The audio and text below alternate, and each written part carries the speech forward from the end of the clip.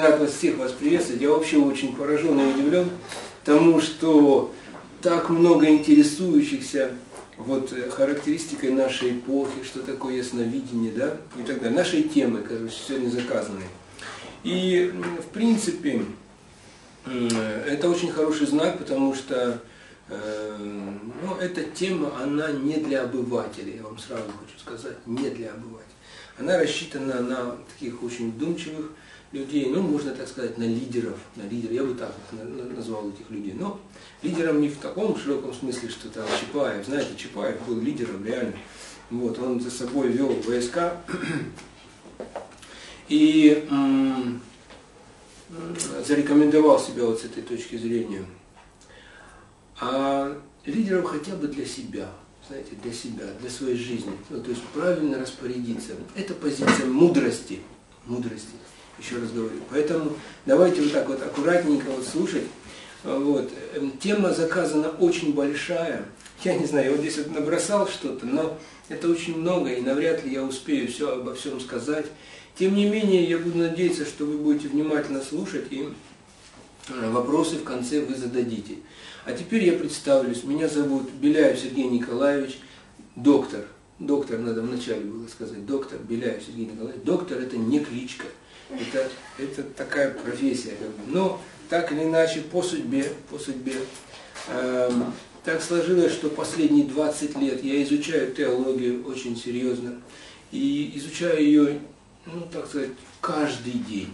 Не то, что вот, ну, сегодня праздник, допустим, или воскресенье, вот, чем бы мне заняться. Нет, последние 20 лет своей жизни каждый день изучаю вопросы теологии культуры и много-много других прикладных аспектов, то есть философия туда все входит. Итак, эм, э, мы немножечко поговорим, да, тема нашей беседы сегодняшней, э, она посвящена предсказаниям, предсказаниям. Характеристики нашей эпохи, согласно предсказаний, вот, нашего будущего, и вообще, кто это такие за люди, вот эти предсказатели, ясновидцы, как к ним относиться, вообще, как относиться к предсказаниям, э, вот, и как вообще, пользоваться ли этой информацией вообще нам или не пользоваться, то есть, ну, в таком варианте. Вот, или, э, так сказать, э, вот давайте вот просто осветим эту тему, и все. Естественно, мы будем говорить с уклоном таким, который может быть сегодня ну, неизвестен. То есть я не буду ссылаться ни на большую советскую энциклопедию, я не буду ссылаться на британскую, ну я не знаю, какие вы знаете, даже на британскую не буду ссылаться. То есть мы будем ссылаться очень часто на ведические знания, но будем проводить параллели и современности. Вот. Очень важно понять некоторые процессы вот, с точки зрения того, как они предсказаны, увидеть через призму тех вот древних писаний, древних слов, древних мыслеформ, как оно сегодня проявляется. И понять вообще, насколько это вот, э, уникальна вот эта система древних знаний, веды, да, мы будем ссылаться на ведические знания, на ведические. Итак, начну с того, что во все времена и эпохи всегда были предсказатели, да. И в действительности эти люди, они необычные. Их всегда что? Их всегда вот ловили каждое их слово, согласитесь. И сильные мира всего, они интересовались предсказателями, но и простые люди тоже. Эм, что это такое интересоваться своим будущим? Знаете, это признак разума, прежде всего признак разума. То есть понять, что меня ждет и как распорядиться этой жизнью. И поскольку сама эта система предсказания, она не нами создана, я сразу хочу не, некоторые вещи сказать. Я вот сегодня слушал интервью Павла Глобы, ну, человек, который занимается предсказаниями, предсказаниями. И он, он говорит, что я вот прогнозы рисую, прогнозы.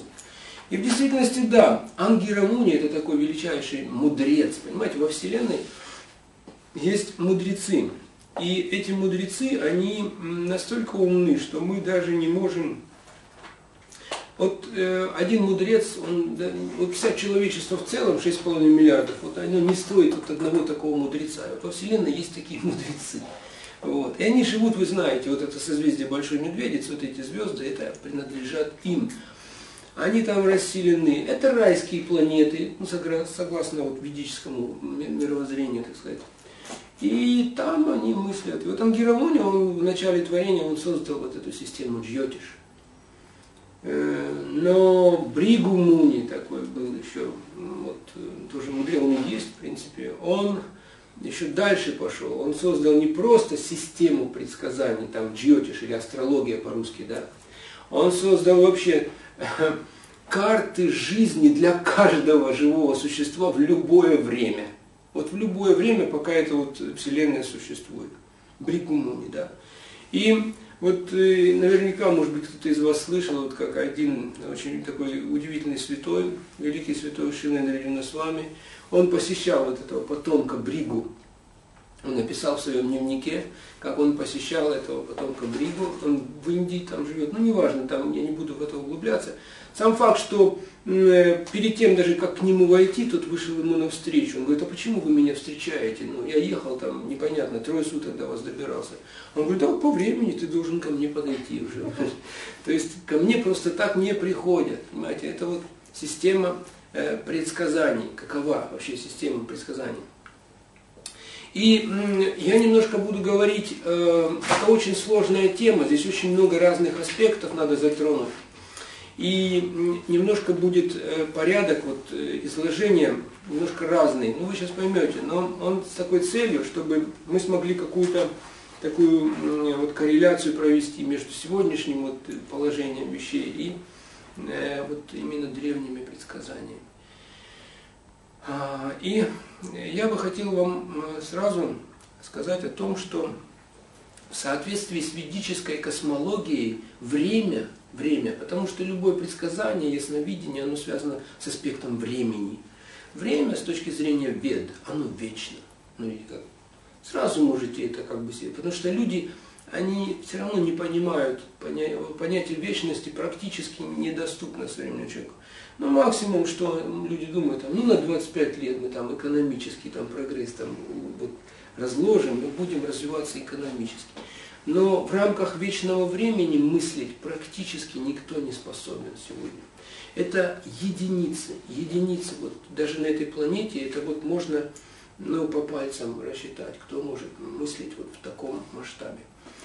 И, но ясновидцы, вы слышали такое слово, ясновидцы, да, это такой удивительные люди, они могут действительно посмотреть в будущее.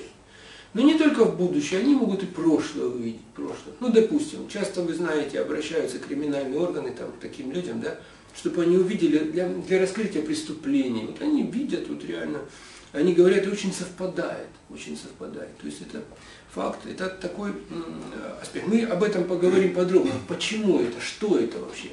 Современные люди, даже те, которые пользуются услугами ясны, они не знают, что это. Вот это парадокс нашего времени. Мы сейчас поймем, почему так происходит. И, конечно же, самая большая квалификация ясновидения – это заглянуть в будущее и увидеть, что будет впереди. И во всей эпохе такие люди, они ну, редко приходили. Даже вот за последнее тысячелетие, ну, может быть, за тысячелетие человек 10, ну, таких ярких. Ну, вот за последние тысячелетия ну, человечество помнит их, они описаны. Их можно вспоминать, мы будем сегодня некоторых вспоминать. А, вот. И у них были какие-то такие вот возможности заглядывать, ну, в общем-то, на какие-то ближайшее время, на ближайшее время.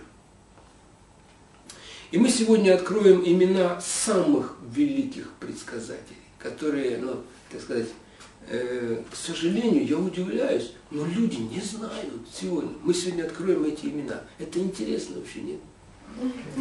Окей. Итак, мы продолжаем. Итак, время вечно, да?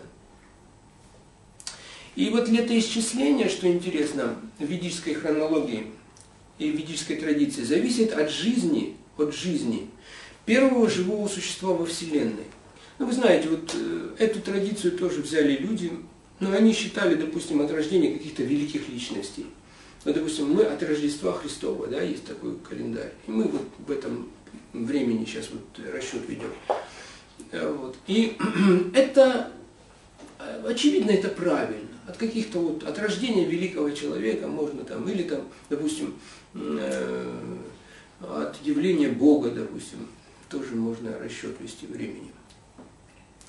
Ну и говорят, Господь Иисус Христос тоже это вот, то есть, ну, обожествили Иисуса Христа. Тем не менее, это уместно сказать Господь Иисус Христос. Ну и так, вот и это первое живое существо, оно и его имя Брахма. Брахма. Ну, зовут его Брахма. И жизнь Брахмы, она поделена на периоды. Вот вы только вот вникните немножко. Я, у нас не будет много времени, на это надо просто потратить, ну я не знаю, может быть целую лекцию, да, чтобы рассказать о летоисчислении ведическом. Тем не менее, мы очень так вот э, коснемся только этого вопроса. И жизнь Брахмы, она, мы как уже сказали, поделена на периоды. Один день Брахмы, один день Брахмы, это Маха-Кальпа, равно 4 биллиона 320 миллионов э, земных лет. 4 биллиона 320. Один день Брахмы, да. Брахма ну, вот, в христианской традиции это Бог-творец. Бог-творец. Это по сути дела, очень могущественное живое существо, наделенное особыми полномочиями Господом. Вот сам Бог, он не занимается творением. Это как бы ну, не его уровня дела. Понимаете, вот Брахма, он творит. И вот согласно вот летоисчислению Браха, один день равнее его жизни, он вот такой вот период земных лет. И вот эта Маха-Кальпа, Маха-Кальпа, она включает в себя 14, вот этот день, день, 14 периодов включает. В каждый период приходит какой-то прародитель, основной прародитель человечества. Их называли ману. Они разные бывают. Ману, они приходят, их 14. Они описаны в ведах очень подробно. Вот. И э, эти прародители, они по повелению Брахмы, они населяют эту вселенную, населяют. И прародители очень могущественные тоже живые существа, Э, и они, вот мы с вами тоже рождены вот от этих вот прародителей ману. То есть э, вот так это происходит. И делится вот эта Маха-юга, Маха-кальпа, извините, или Маха-юга, вот так ее можно назвать, она делится тоже на четыре периода. Вот, он называется Сатия-юга, Трета-юга, два пара юга и Кали-юга. Кали-юга это то время, в котором мы с вами живем. Сати-юга, давайте назовем промежутки просто, она длится больше всех, дольше всех, она очень большая, длительная. Она длится 1 миллион 728 тысяч лет. Это вот такая сати-юга, она продолжительная. И люди в этот период, они живут, они больше, чем мы, ростом, они живут сотни тысяч лет. У них продолжительность жизни сотни тысяч лет. В Трета-Югу продолжительность Трета-Юги 1 миллион 296 тысяч лет, чуть поменьше.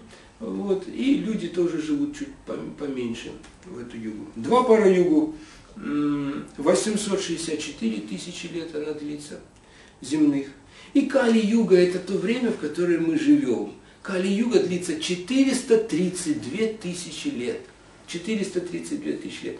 И по летоисчислению ведическому она началась ровно 5 тысяч лет назад. Да, 5 тысяч лет назад. Вот как она началась. То есть мы, можно так сказать, в самом начале Кали-юги. Кали-юга это уже такой век, его в переводе можно перевести Сатия, если вот Сатия, да, это золотой век. Это век э, раз, вот, ну, расцвета человечества, расцвета. А Кали-юга – это век лжи и порока. Смотрите как, да? Вы слышали, наверное? Кто не слышал Кали-юга, да? То есть я никому не открыл сейчас секрет, да? Лжи и порока. Так вот переводится. Ну, еще он говорит, железный век, не так важно. Много всяких переводов у этого слова, но тем не менее важно понять, что именно в этот период времени человечество, вообще все население Вселенной деградирует деградирует. Мы с вами живем вот в этот век деградации. Итак, э, что грозного в этой Кали-юге? Мы как раз вот ради этого пришли, потому что мы даем характеристику этого времени, мы рассмотрим ниже. А сейчас э, я, может быть, расскажу о том, что же такие прорицатели, опять вернемся к этому. То есть э, во все времена вы знаете, вот может помните, я когда еще в школе учился, э, вот нам говорили, в Древней Греции были такие прорицательницы, девушки прорицательницы, их Сивилы звали. Сивил, знаете, да? Слышали, может быть, да? Эм, и вот э, я думал, всегда думал, что это, но они были такие, знаете, необычные женщины, обычно они отвергнутые такие были обществом. Они не могли найти, так сказать, свою половинку божественную, так сказать, завести семью. Вот, и на них как бы вот такое было проклятие, что вот они сами по себе будут жить. И эти женщины, они порой превращались в такие очень ну, страшные существа, внешние, так сказать. И тем не менее, у них постоянно были вот эти видения, видения будущего. И, может, вы помните, да, ну вот и в Греции их говорили, что ну, они сивилы, значит, они отмечены проклятием Аполлона. Ну, Аполлон это вот бог любви такой, так сказать, в Греции был и так далее. И может помните, вот э, это легендарная Кассандра, которая, так сказать, ну, предсказала различные там потрясения, вот, и за это она была отвергнута. То есть э, люди, они как, они хотят знать будущее, но они не хотят принимать какие-то проблемы в будущем. И в этом тоже Поэтому этот пророческий дар, пророческий дар, он всегда был таким немножко мистическим и немножко пугал даже людей, потому что вроде хочется заглянуть вперед, но и боязно, а что там вот узнать, вот, что, а вдруг там вот уже ничего. И как бы вот в этом вопросе э, всегда противоречие есть, двойственность. И все же это было явно любопытно для людей, согласитесь. Да? Даже вот, э, помните, даже Пушкин написал вот это стихотворение, замечательное, я считаю, стихотворение «Пророк». Да? То есть вот этому дару посвящались даже, ну, такие вот, можно так сказать, мыслители человечества очень много об этом думали. Там всех заботит на самом деле. Кто они пророки? И э, вы знаете, и как к ним относиться. Ну вот, допустим, Эйнштейн, да, Эйнштейн, он э, изучал Нострадамуса изучал, откры, хотел открыть его все секреты. То есть, ну, он зашифровал все свои пророчества. И вот и Нострадамус, вы знаете, он ну, наиболее известный на сегодняшний день, вот один из таких наиболее известных. Ну, потому что он заглянул за столетие. То есть вот это ясновидение, которое ну, не на той неделе, что тебя ждет, или там через час, а за столетие. Понимаете, вот это как бы, ну, как бы эпоха побольше. И в этом смысле вот величие пророка, понимаете. Он очень интересно Нострадамус предсказывал. Кто знает, как он предсказывал? Он уникально. Он, он брал такую чашу, чашу, медная чаша большая была, и он смотрел в нее, прямо в воду, она водой была заполнена. Он смотрел в воду, это рано утром происходило. Вот. И поскольку, помните, уже кто-то был на лекциях да, по воде, вода знает прошлое, настоящее, будущее, я вам рассказывал об этом, да? И он смотрит в эту чашу и видит, вот как в кино, как вы вот видите в Samsung, да, вот и такой большой экран, знаете, вот, вот реально так. И вот он точно так же видит, вот все, вот, причем он может взгляд бросать куда захочет, там, в ту страну, там, в ту область, в ту область. И он видит, как в кино, что происходит. И он только нужно облечь это все, как бы осознать самому, что происходит. Потому что, ну, допустим, на Стародамусу в то время вот увидеть, как вот взлетает ракета Булава. Булава. Очень трудно понять, что это такое, да. Стрела это. Ну, в то время стрелы были, да, и там мушкеты какие-то. А это вот булава взлетает, увидеть, как это, что это понять. То есть ему надо понять. И вот, допустим, так и точно и нам трудно понять, что в прошлом было, если мы увидим или окажемся там. Или вот в будущем. Поэтому это вот дар предсказателя. Все равно надо вот дар иметь.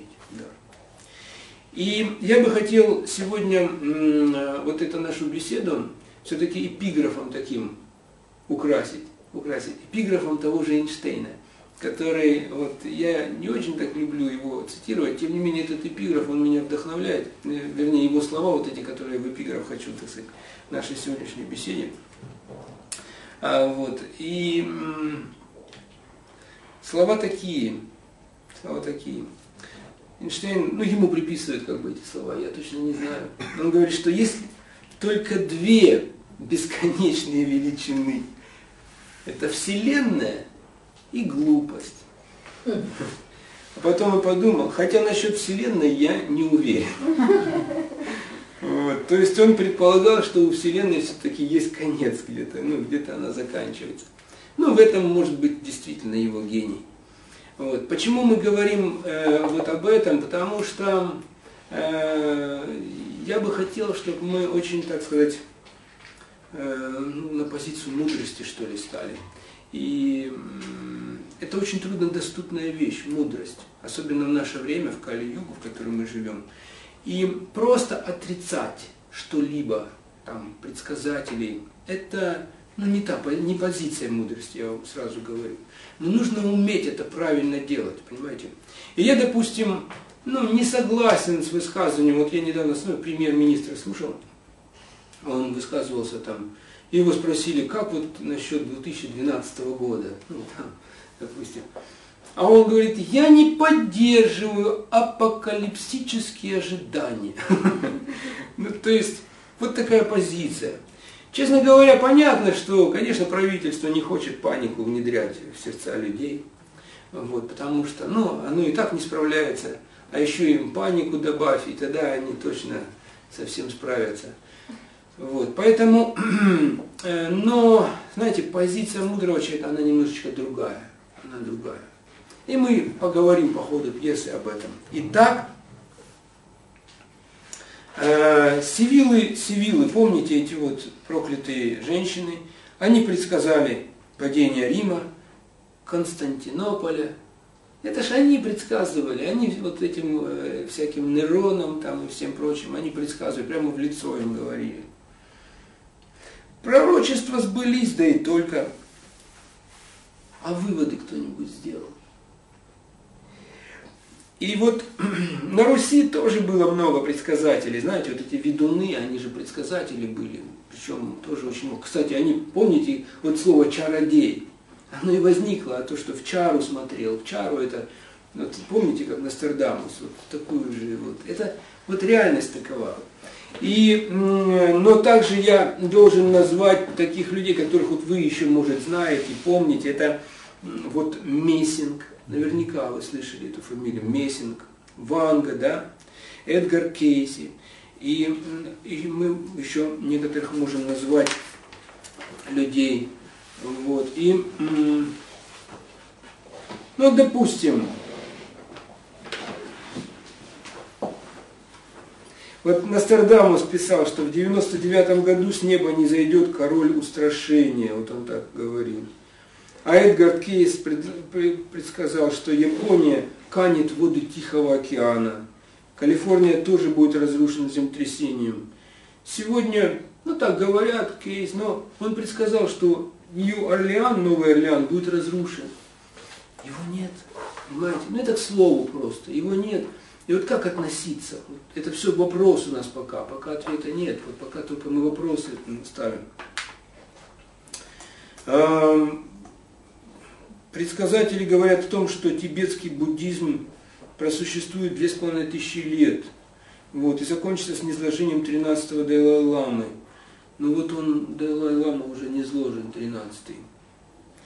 Эм, пирамиды утверждают, пирамиды, это вот, вы знаете, пирамиды, да, что э, ну, вот в Гизе такие пирамиды еще и очень известные есть, указывают на конец нынешней цивилизации в 2001 году, смотрите, в 2001.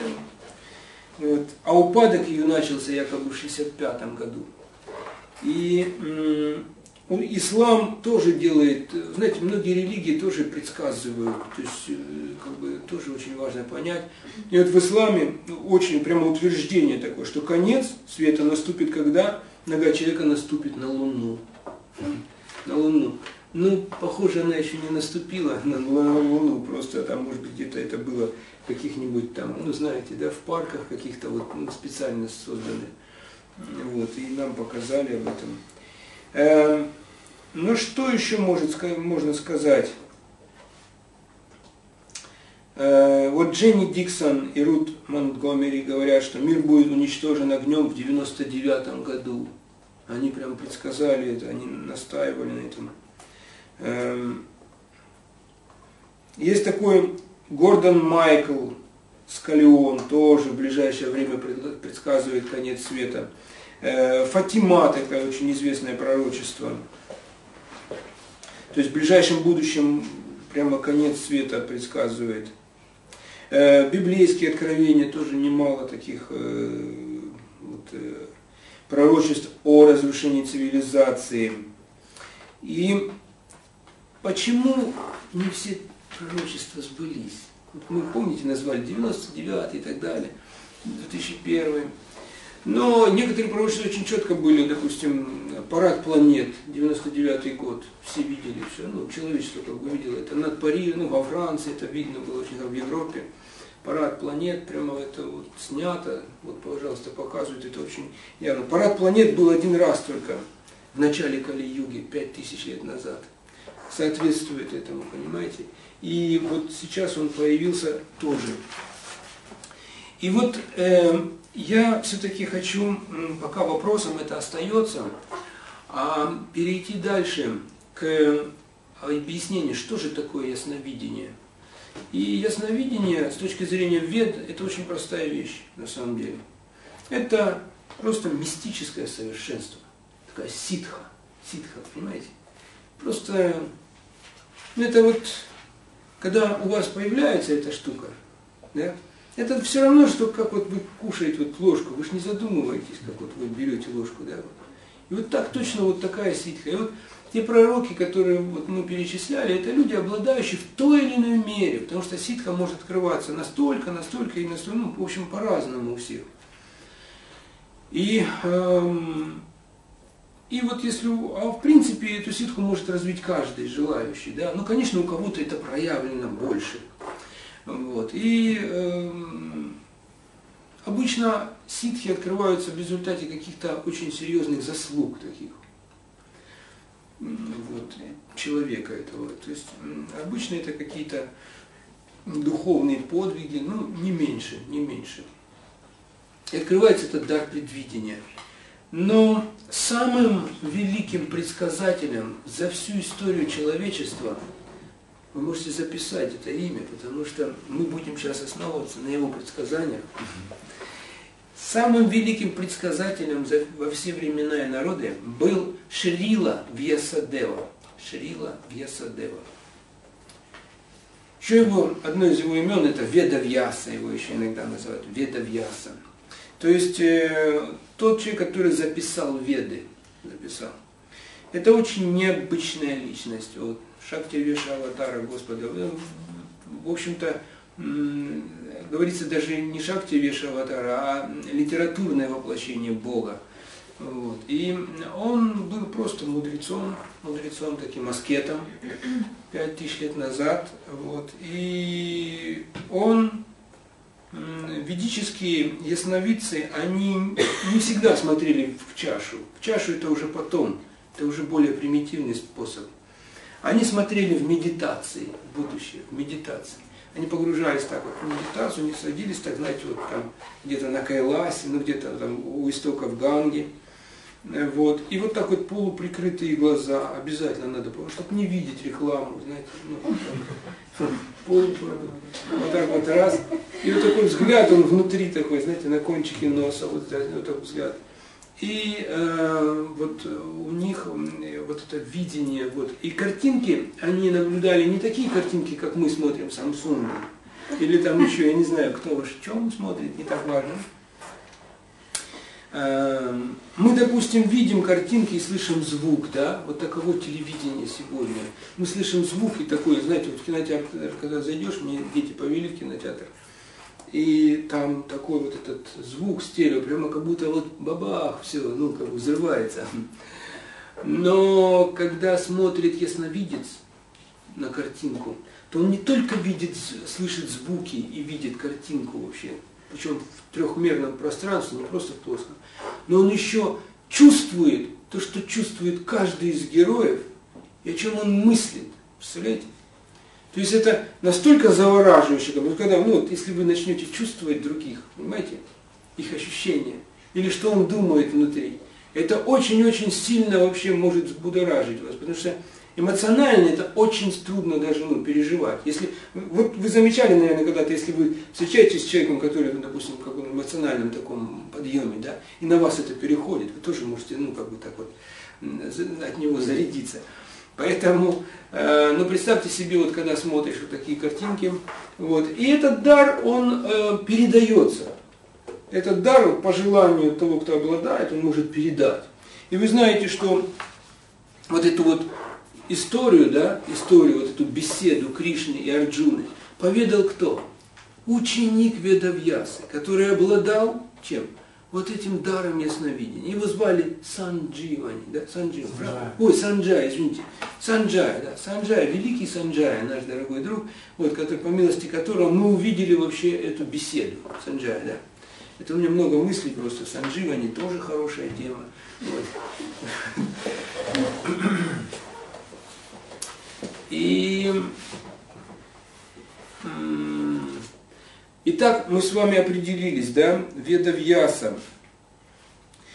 В чем его величие? В чем величие его видения? Он предсказал эпоху. Он предсказал всю Кали-Югу, представляете? Всю Кали-Югу. Причем в таких подробностях, которые, ну, реально трудно себе представить. Более того, его временные, так сказать, эм, определения настолько точны, что все остальные писания мира могут сверяться, понимаете, сверяться. Ну, допустим, в Библии там указывается возраст, возраст Адама, да, и Евы, ну, к слову говоря, да. Ну, кто-то читал Библию, нет? Ну, почитайте обязательно, понимаете, там есть возраст Адама, вот. Но в Бавище Пуранах, да, более подробно указан этот возраст и всех потомков Адама.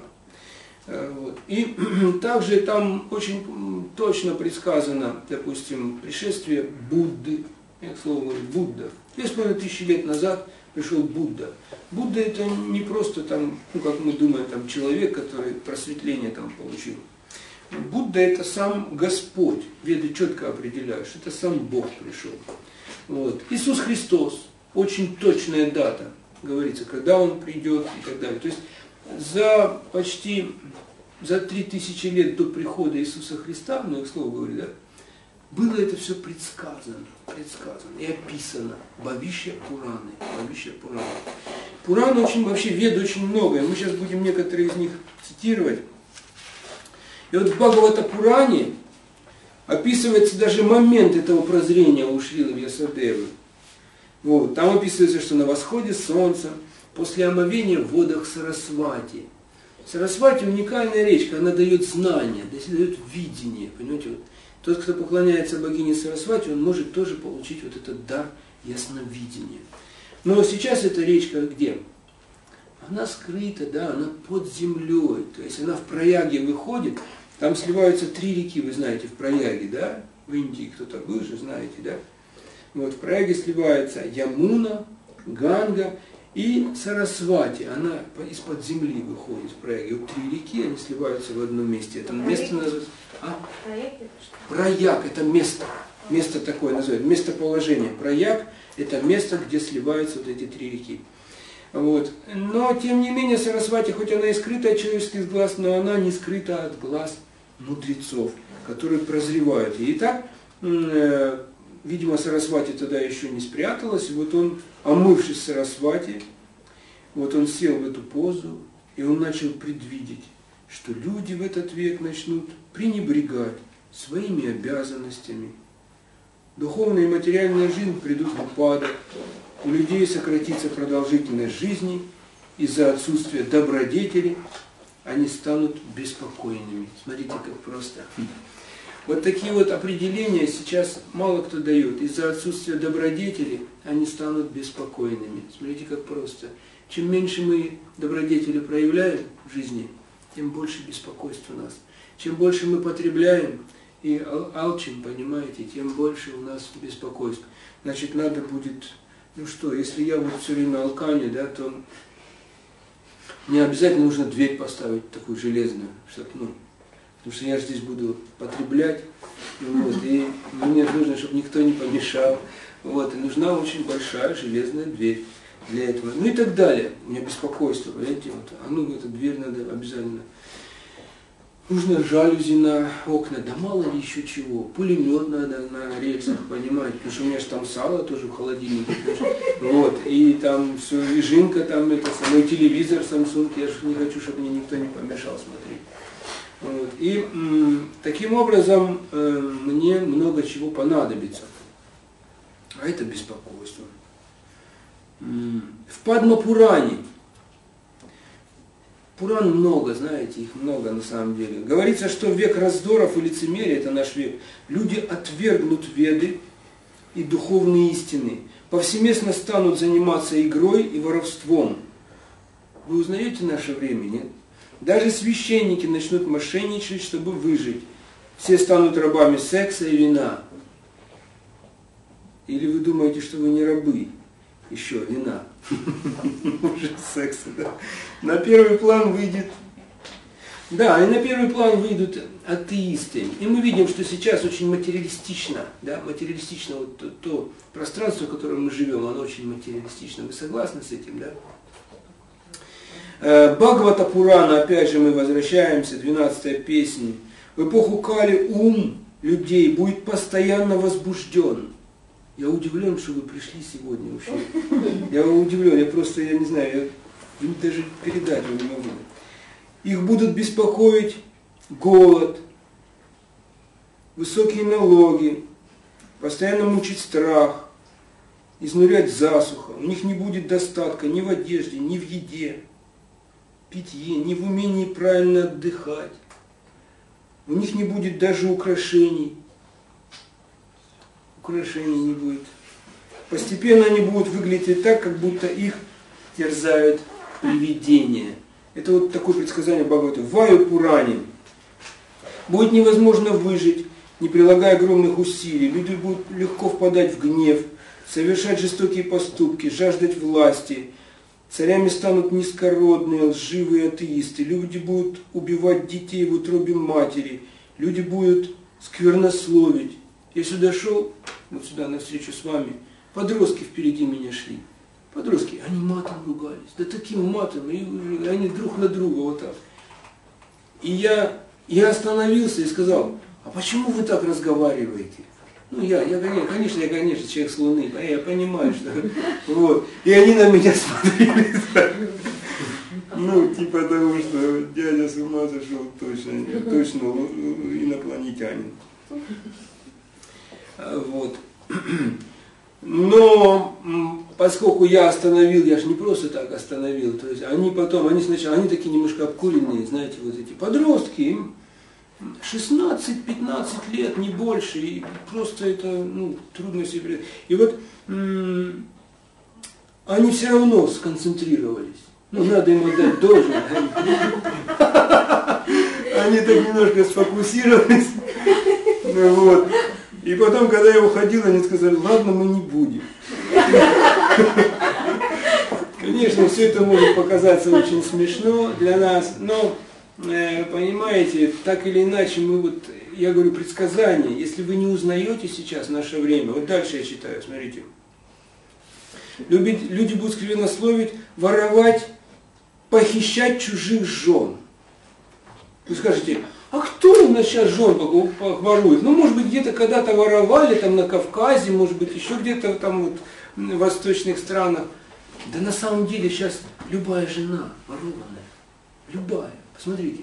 И вы можете удивиться мне, но вот эта эмансипация, эмансипация, это и есть вот это проявление воровства жен. То есть эмансипированная женщина, она очень открыта, да, Согласитесь, она очень открыта. Но я просто вам пример привожу, чтобы вы увидели немного. Помните, мы сказали, мы будем учиться видеть через призму древности. Вот простая вещь. Как женщины одеваются сегодня? Они очень доступны для взглядов других мужчин. И естественно, они что? Они ворованные получаются. Потому что, ну, понимаете, так устроен мир, естественно, на нее смотрят другие, другие. И в этом смысле она уже не жена одного мужа, а уже жена всех там. Кого, кто увидит, того и жена. и вы можете подумать, а что это такое, да? Но мы же с вами хотим научиться, мы хотим научно подойти сегодня, не просто там, мы сейчас вот вообще говорим, вот здесь ни капельки религии не будет, я вас сразу предупреждаю. Никакой религии, понимаете, только наука. Это как бы вот очень важная вещь, потому что о религии, если вы захотите, мы поговорим потом, а сейчас только наука.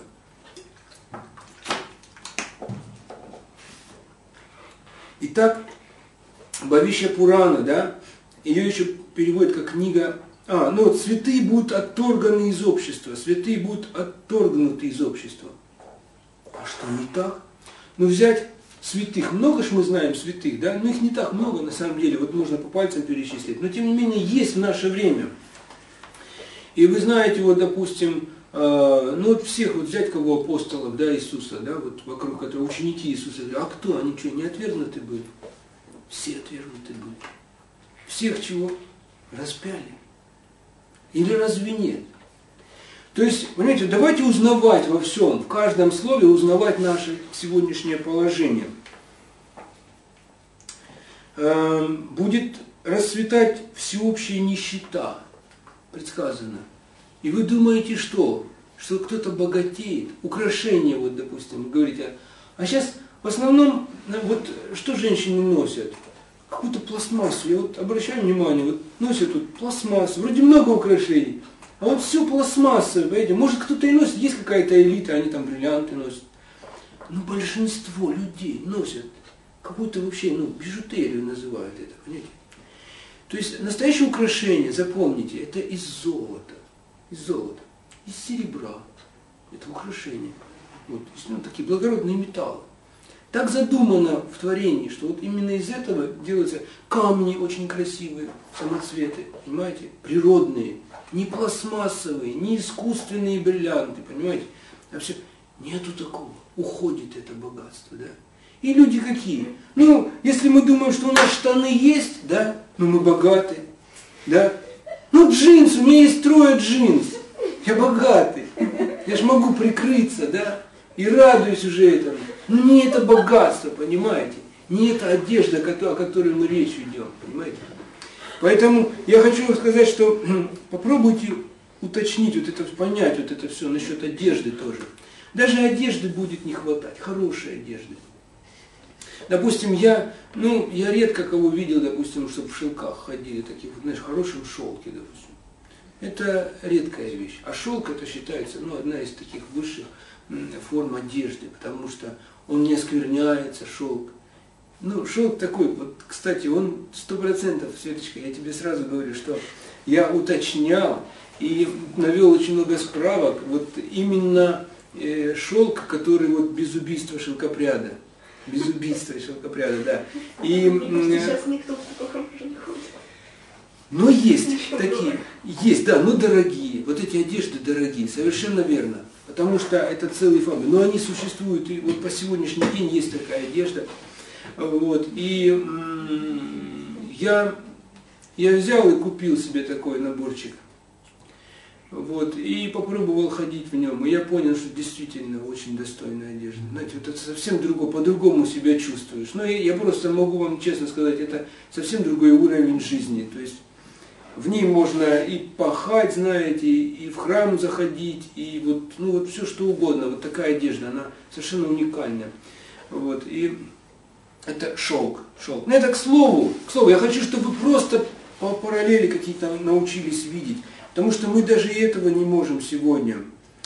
Вот, и многие народы прекратят свое существование. Многие народы прекратят свое существование.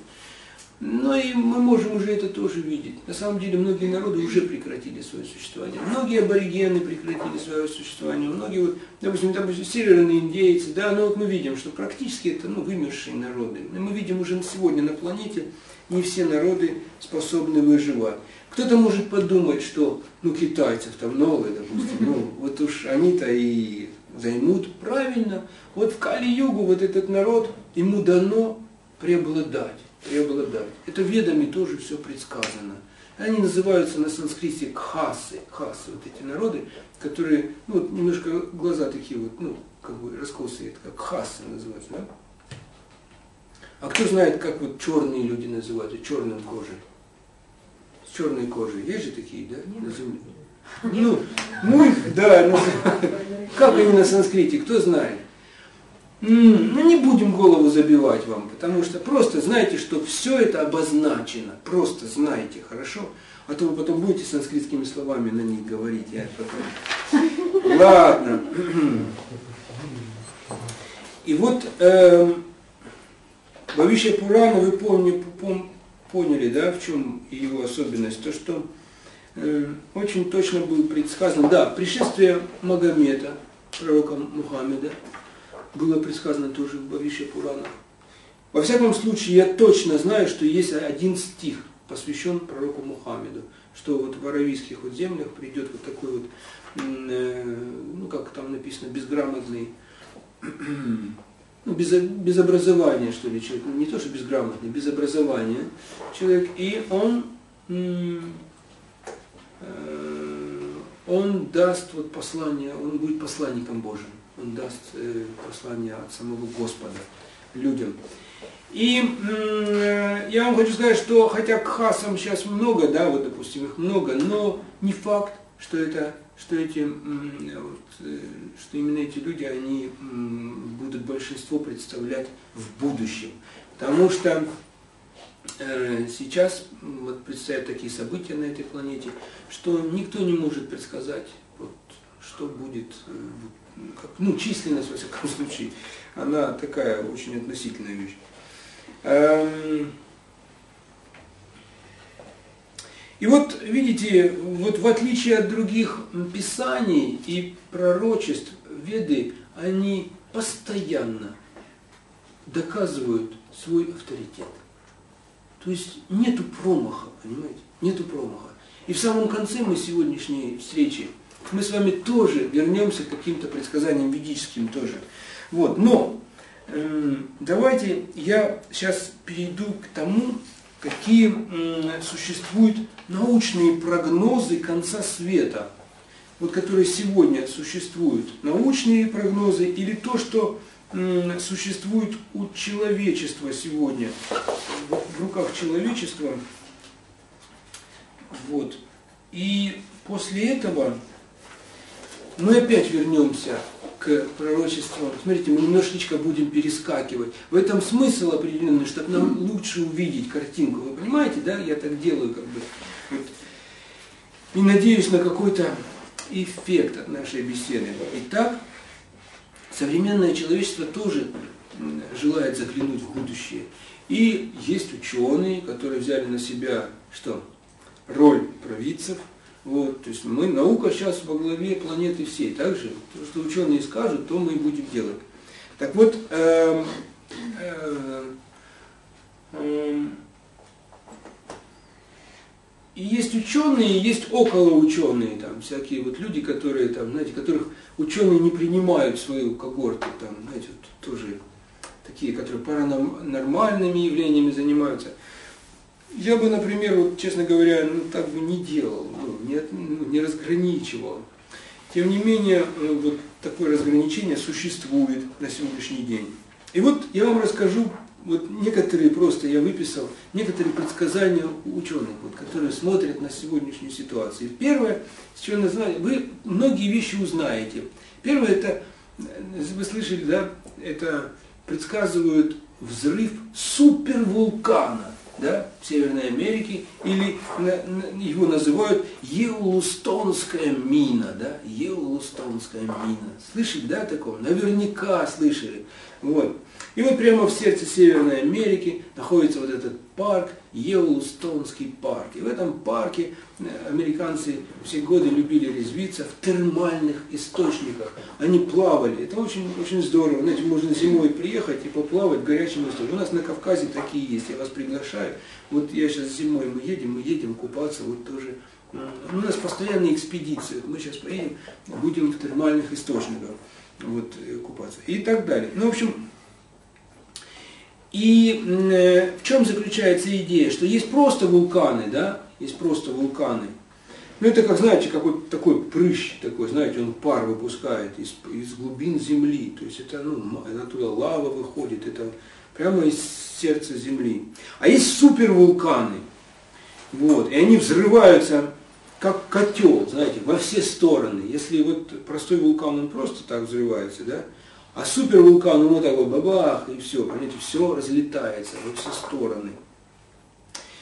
И сила взрыва таких супервулканов, она превосходит в тысячи и миллионы раз силу взрыва там самой ну, богатой ядерной бомбы. Ну, чтобы вы поняли, да, вот так вот.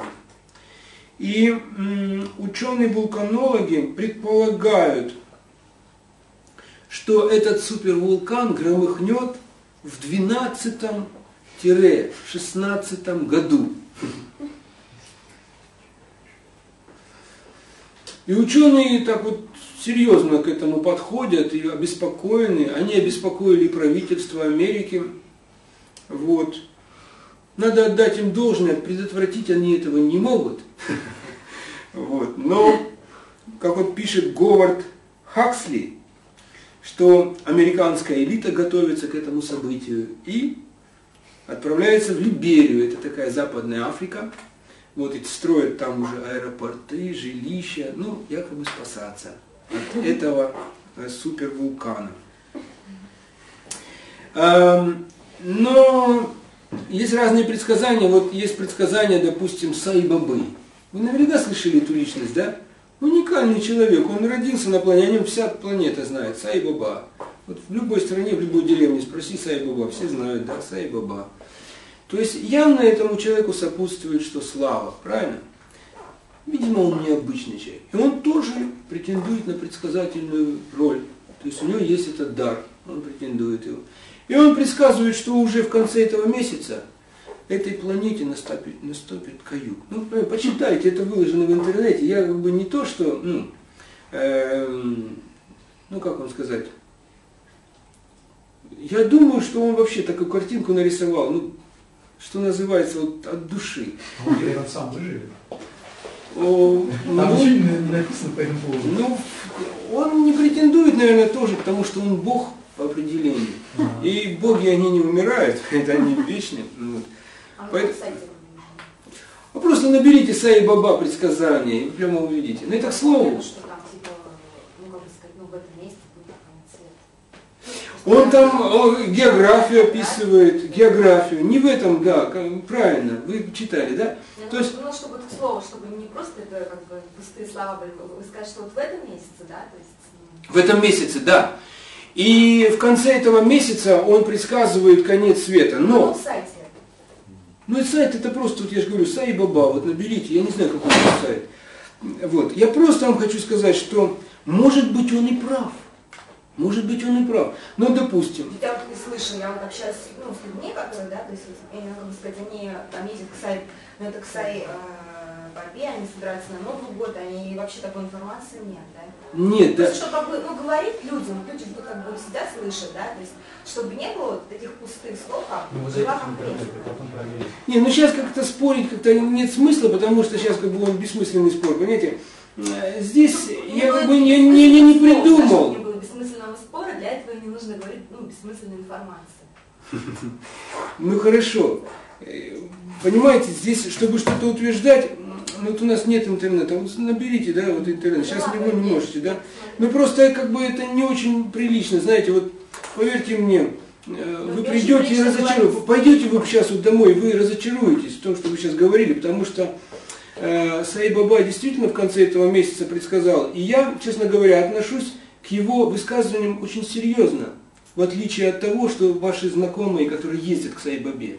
Вот. И я сейчас буду доказывать это положение. Саибабы, понимаете?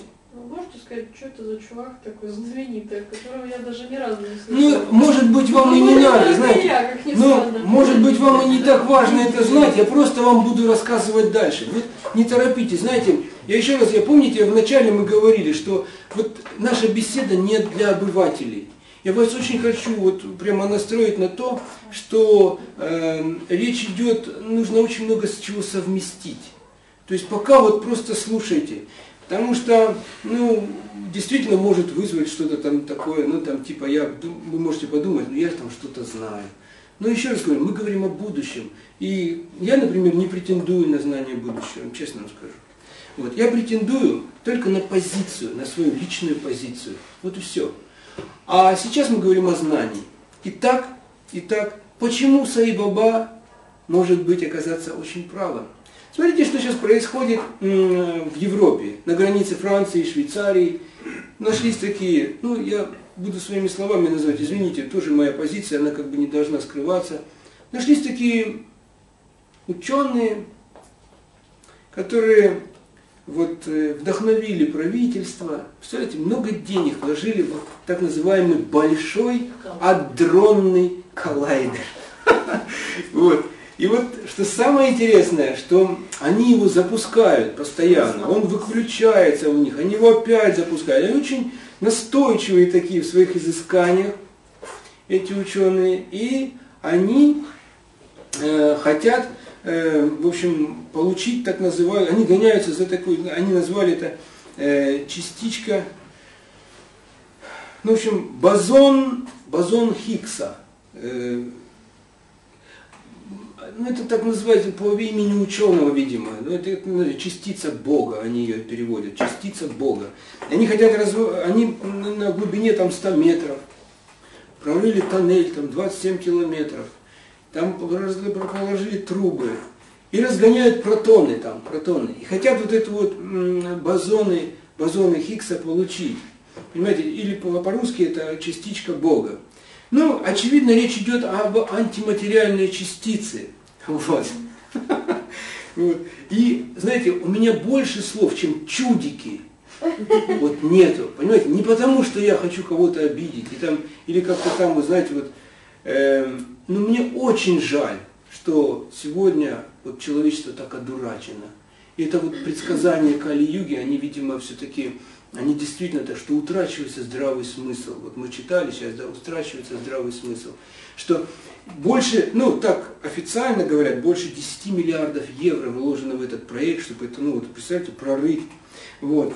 Мало того, что вот эту вот энергию, ядерную энергию, или там вот, э, я не знаю, как хотите называйте, вот все эти вот э, физика, вот, это, вот этих вот э, элементарных частиц, там, и как хотите называть, она в принципе не разработана человечеством. То, что ученые сегодня, я со многими разговаривал, вот этими физиками, термоядерщиками и все прочее, вот, и я вам скажу, что вот мое впечатление такое, что они не знают, что они делают. Ну, честно скажу, что вот уверенностью они не знают. Более того, вот эти вот академики, которые затеяли весь этот вот проект, они хотят получить э, черную дыру, понимаете, из которой начнется твориться Вселенная. Что это за черная дыра? Возможно, это будет какой-то сумасшедший взрыв, который разнесет эту планету, понимаете? Ну, может, не планету, но хотя бы часть Европы. Вот. И, конечно, уже это уже будет впечатление для всех, да. Вот. Но поверьте мне, на сегодняшний день я хочу просто снять эм, радужные розовые очки вот с глаз, вот, э, вот своих, в частности, и людей, никто еще не умеет управлять ядерной энергией. И пример тому простой, Чернобыль. Чернобыльская авария, вот. Люди создают сейчас ядерные, вот эти вот, э, как их называют, атомные электростанции, да, закладывают их на 50 лет, но последствия после этого, после этой работы, тысячи лет. Тоже те же ученые. Ну, какой разум? Какой разум у человечества сейчас вот может происходить, если на 50 лет работы, да? То есть нам так нужна энергия на 50 лет и тысячи лет что? Потому что, оказывается, от этого реактора еще это отходы, понимаете? И отходы никто из вас не захочет запокопать в своем саду, понимаете? Никто не захочет. И даже если вы придете к тем политикам, которые принимают решения о том, чтобы ядерную промышленность развивать, и скажете, пожалуйста, вот дорогие, э, уважаемые члены федерального собрания, вы проголосовали за это вот развитие, да, вот такое вот стратегию. Давайте мы отходники будем в ваших дворах, вот это, потому что, ну надо же, вот Чернобыль, вот его не, не знают, никто не может справиться, этот саркофаг, он разрушается, понимаете, причем и денег ни, ни у кого даже вот, мозгов не хватает, как это вот все вот это вот удержать. Это просто огромная проблема на планете, реально существует. И вот такое вот мы живем состояние человечества, понимаете? И вот сейчас адрон Николаев, очередной. Поэтому кто его знает? Может, к Сайбабе мы полетим, но уже вот так, понимаете? И вот, может, мы долетим до него, ну и, как его знает, может, Индия останется там еще какое-то время. Я не знаю, я не могу, я не могу заглянуть в будущее. Тем не менее, вот реальность сегодняшнего дня такова. Но мне нравится идея ученых НАСА. НАСА, вы знаете, такая организация, это космос изучать. Люди, в принципе, очень благородная тема, изучать космос. И это ну, достойно человека заглядывать вот туда, ну, на звезды и так далее. И вот они очень красивую теорию, которая мне больше всего нравится, они выдвигают. Я очень искренне с вами говорю. Вы привыкли не верить всем. Вот девушка смотрит на меня. Как тебя зовут? Скажи, пожалуйста. Лейсан. Лисан. Лейсан. Лейс, Лейсан. Потрясающе. Я... Просто я, я думала, как бы, слушай, там о будущем, да, почему это происходит, допустим, ну, вот на планете, да, то есть, ну, Вот мы сейчас к этому придем. ну, я вот жду, поэтому. Это очень хорошо, потому что вы пришли, это ну, прежде всего положить ухо на алтарь терпения, понимаете? Потому что не так просто, понимаете? У вас есть, у вас есть, да, один вопрос, а у других другие вопросы, возможно, будут. И э, я постараюсь, вот, я постараюсь, чтобы у вас ну, тоже вы довольны остались, хорошо? Тем не менее, я хочу об ученых НАСА сказать, о их теории. Э, Они говорят о том, что в будущем они предсказывают, что э, они даже называют дату, что 22 сентября 2012 года вот, произойдет вспышка, огромная вспышка на, зи- на Солнце. Ну, знаете, Солнце, оно такие вспышки такие рождает. И вот эта вспышка, она, э, так сказать, приведет к очень большим электромагнитным колебаниям во Вселенной. Эти электромагнитные колебания, они выведут из строя через некоторое время, пока они ну, до нас дойдут, они выведут из строя все трансформаторы на этой планете. Трансформаторы. Знаете, ну и вот даже вот есть такие вот в, наших, в наших вот камерах есть такие вот, трансформируют, знаете, вот электричество. И в каждом электроприборе, в принципе, есть вот такие штучки. вот в телефонах. И что вы думаете? В результате этого произойдет на Земле, то есть вот энергетический коллапс, коллапс, который, в общем-то, ну, трудно будет восстановить сразу, согласитесь. И представьте себе, не будет связи, нечем будет заправить. Ну, ну, в принципе, может, бензин и останется там в заправочной станции, но ну, только вот так вот, знаете, как ну, может быть, таким образом. Ну, в общем, что-то типа такого. Но машины тоже выйдут из строя, потому что очень много электроники. Вот, ну, в управлении вот двигателем, знаете, вот всеми процессами этими. Поэтому, эм, и они, что интересно, они ссылаются на э, события 1859 года, когда была подобная вспышка, но на Земле не было еще так много трансформаторов, и человечество еще не зависело так глобально от электричества, как сейчас. Да? Вот. Представьте сейчас, вот если вот все выключается, выключается, свет везде, свет. И мы сейчас выходим на улицу, все машины стоят, они уже даже не сигналят, потому что вот, и не включаются их фары, да, вот все потухло, да. Поверьте, метро тоже не ходит, понимаете, ну, отключится, вот просто будет вырубаться все. Причем э, скорость э, происшествия этого буквально вот пока человечество узнает от спутников, вот это придет сигнал этот, да, ну, может быть, там 15 минут, вот они говорят, от 15 до 45 минут. вся эта вот э, ситуация будет развиваться. И за это время, даже если нам успеют объявить вот здесь, в этой комнате, а кто нам объявит? В принципе, никто. Ну, может быть, да даже и в вашем компьютере навряд ли это там услышимо. То есть нам никто не объявит уже, и я просто хочу, что я вам рисую картинку, дорогие друзья мои, потому что мы иногда слушаем информацию, мы не понимаем, о чем идет речь. То есть нужно очень быть таким очень аккуратным в этом смысле. Итак, но это вот такое воззрение ученых. Также они говорят очень серьезно об угрозе падения крупного астероида. астероида. Они прогнозируют падение этого астероида в 29 году. Эм, вы знаете, об этом тоже очень можно долго рассказывать. Я не буду, наверное, сейчас уже подробно на этом останавливаться, иначе у нас много времени на это уходит, действительно. Вот. И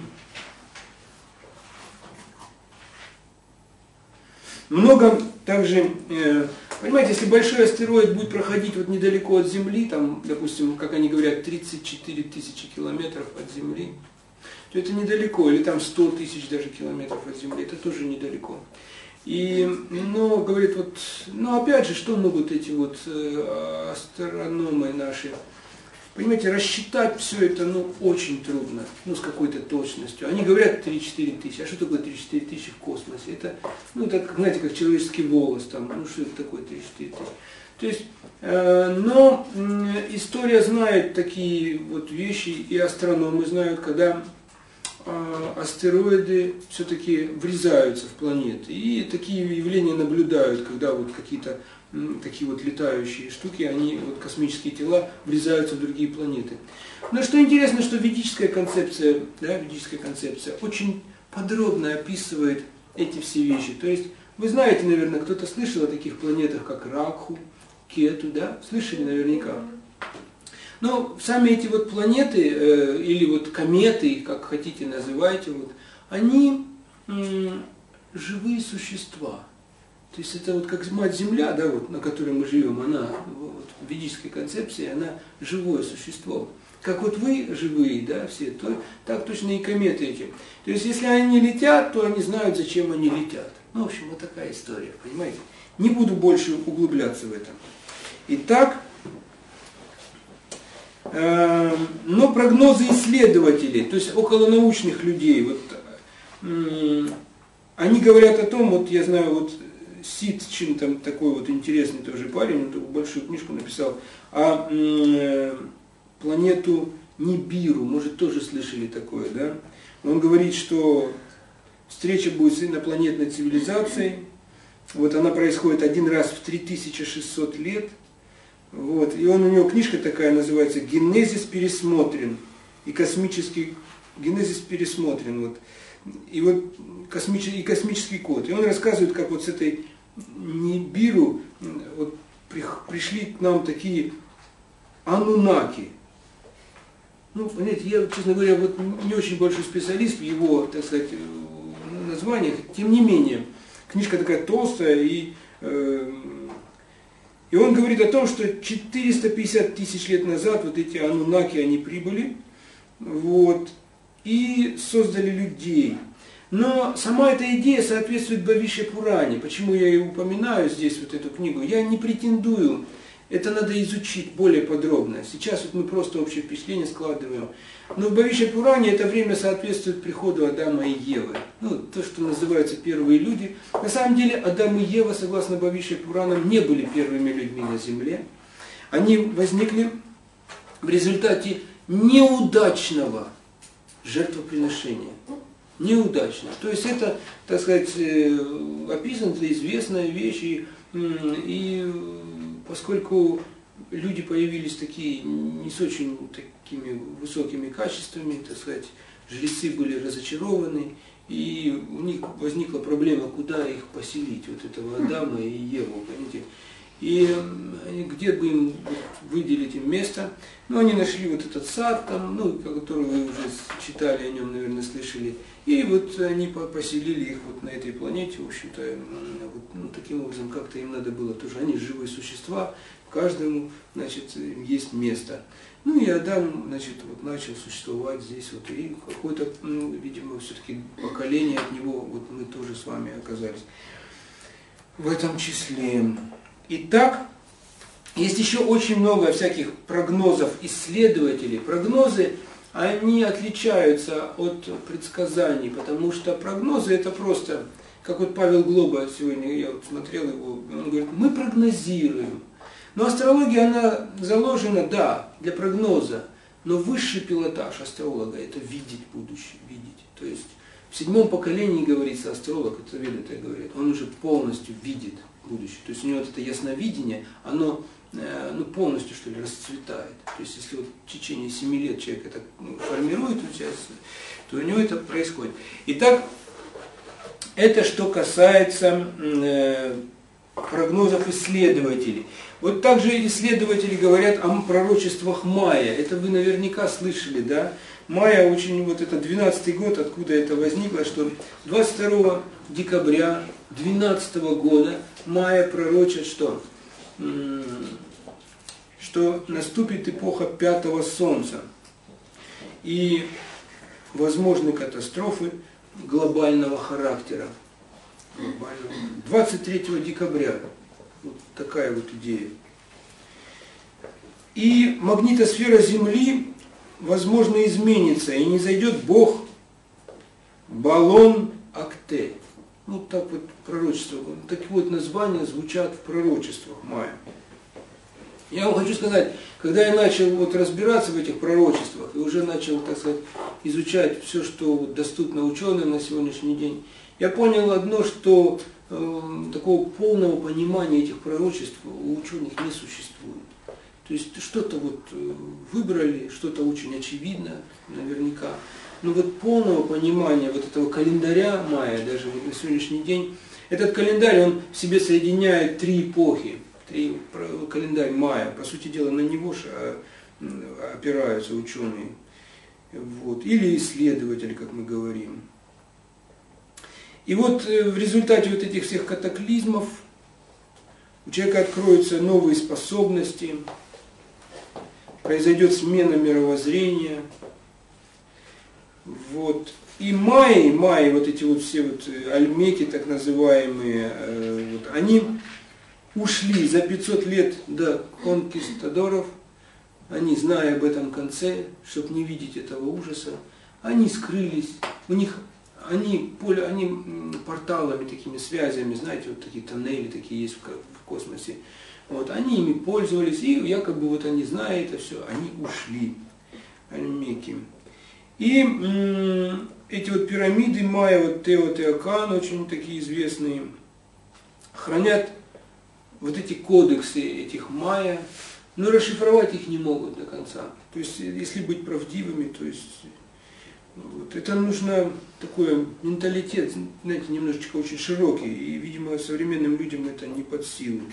Египетские, египетские пирамиды, они свидетельствуют о том, что современная цивилизация заканчивается в 2001, мы уже говорили, году, да? Вот. Но очень интересно сообщение астрологов из разных уголков земного шара. Есть такой замечательный астролог, вот он в Москву приезжал несколько лет назад, ну, несколько раз приезжал, вот его зовут Рамма, Рамма. Вот он один из самых именитых астрологов вообще на планете на сегодняшний день. Вот. И мы уже с вами говорили, что астрология это научная вещь, то есть ее разработали великие мудрецы. Вот. И это не какая-то там, ну, знаете, как у нас говорят, там, я не знаю, магия какая-то, ничего там очень научно все. И вот эм, он собрал всех астрологов, самых крупных на планете. Вот. Сам он живет, вот этот Рама, в Бангалоре. Бангалоре.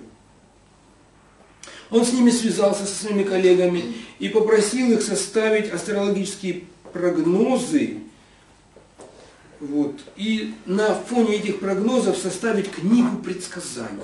Понимаете? И к всеобщему удивлению, они все предсказали, что в начале 21 века грядут катастрофы, бедствия и войны. Очень интересно свидетельства, полученные под гипнозом в состоянии регрессии. Наверняка вы слышали такое, да? Этот метод, он очень красиво доказывает наличие реинкарнации. Если погружать в прошлое, человек может увидеть свои прошлые жизни.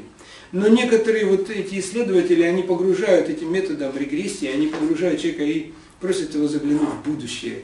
И те люди, которые, ну, в общем так, соглашались на это, и они смотрели на будущее, вот из будущего хуже всего было их выводить. Вот, ну, как вот говорят все эти очевидцы. Вот. И поразительно схожее описание, поразительно схожее описание. С астрологами? Вот у этих людей, которые были в регрессии в будущем, многие видели страшные бедствия, поражающие воображение перемены. Находясь в состоянии транса, я видел, я приходил к этим людям, которые занимаются регрессией в будущем. Это таким регрессия или разные виды гипноза тоже можно отправить в это. И я как-то, ну, еще будучи студентом, вот наш профессор Коваленко, вот у нас на кафедре был в Ростовском э, Ордене Дружбы Народов медицинском университете, ну не так важно. Вот. Он обладал этим даром гипноза, и он на кружке для студентов, он э, так вот все это нас обучал этим вещам. И э, вот так вот мы тоже погружали в будущее, это было очень интересно, они в трансе люди находятся в этот момент. И вот, э, вот эти тоже пациенты, которые вот изучались вот этими людьми, они в состоянии транса утверждали, что никто не сможет выжить. Представляете, вот они вот их увидели, они в ужасе в таком, никто не сможет выжить. А те, кому это удастся, будут так изолированно жить, ну и так далее. Э, очень простой жизнью будут жить. Вот интересно тоже, я вот такого нашел исследователя, это так называемый психомантиум доктора Реймонда Моуди. Это один из первых авторов, который я вообще, вот, когда я начал думать о реинкарнации, вот Моуди, он один из первых. Но он разработал вот это психомантиум, это у него такой метод, очень интересный, метод предсказаний, основанный на темной комнате, смонтированную в стену зеркалами. То есть в зеркальном пространстве, да, вот, он начал экспериментировать. Зеркала, вы знаете, это необычная вещь, да? Это всегда... Это... зеркало Козырева. А? Типа зеркало Козырева. Да, наверняка вы слышали, но зеркало, вот, оно двоякую всегда носит такой характер. Вот, и с помощью зеркала можно очень сильно, так сказать, э, вот, э, в общем, разные моменты можно с зеркалами делать, не будем на это останавливаться. Но так или иначе в этой комнате люди начинали видеть будущее. Люди видели страшные бедствия, в которых страдали и погибали миллионы людей, после чего зародилась новая цивилизация. Ну и, как говорится, думать о том, что это невозможно, э, тоже э, глупо, потому что даже вот говорят о том, что магнитные полюса Земли сейчас уже поменялись, да, то есть это уже факт. Они сдвинулись примерно на 200 километров, магнитные полюса. Представляете? На 200 километров, хоп, и сдвинулись. Это уже зарегистрировано. Но когда находят мамонтов вот этих замерзших, да, и у них в желудке, в желудке у мамонта зеленая травка. Реально, она замерзла очень быстро. Мамонт замерз быстро.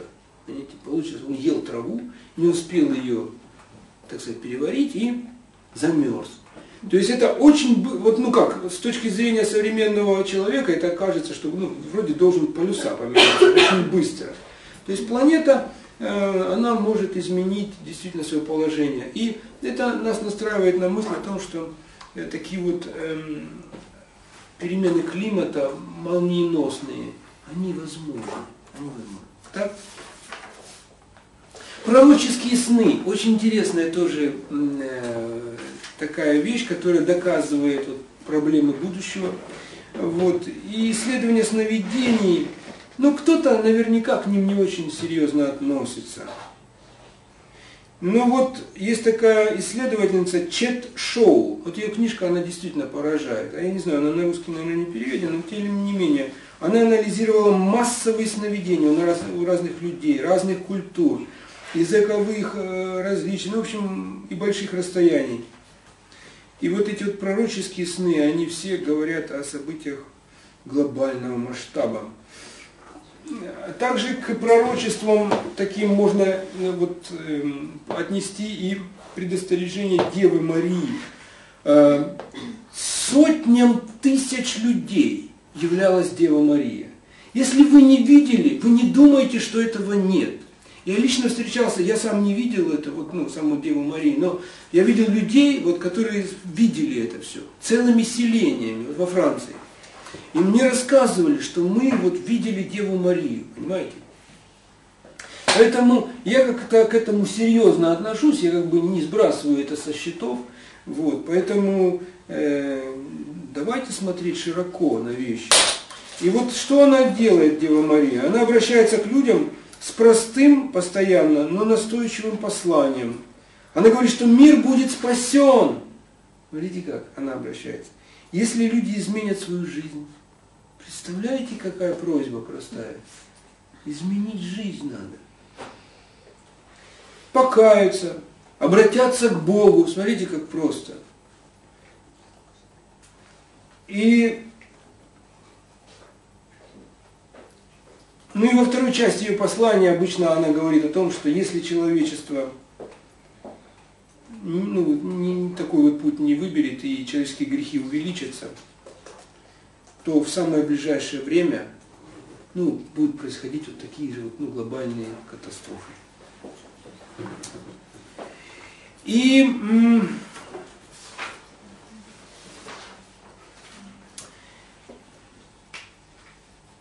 и вот я вот все-таки, знаете, как поступим, вот так, наверное.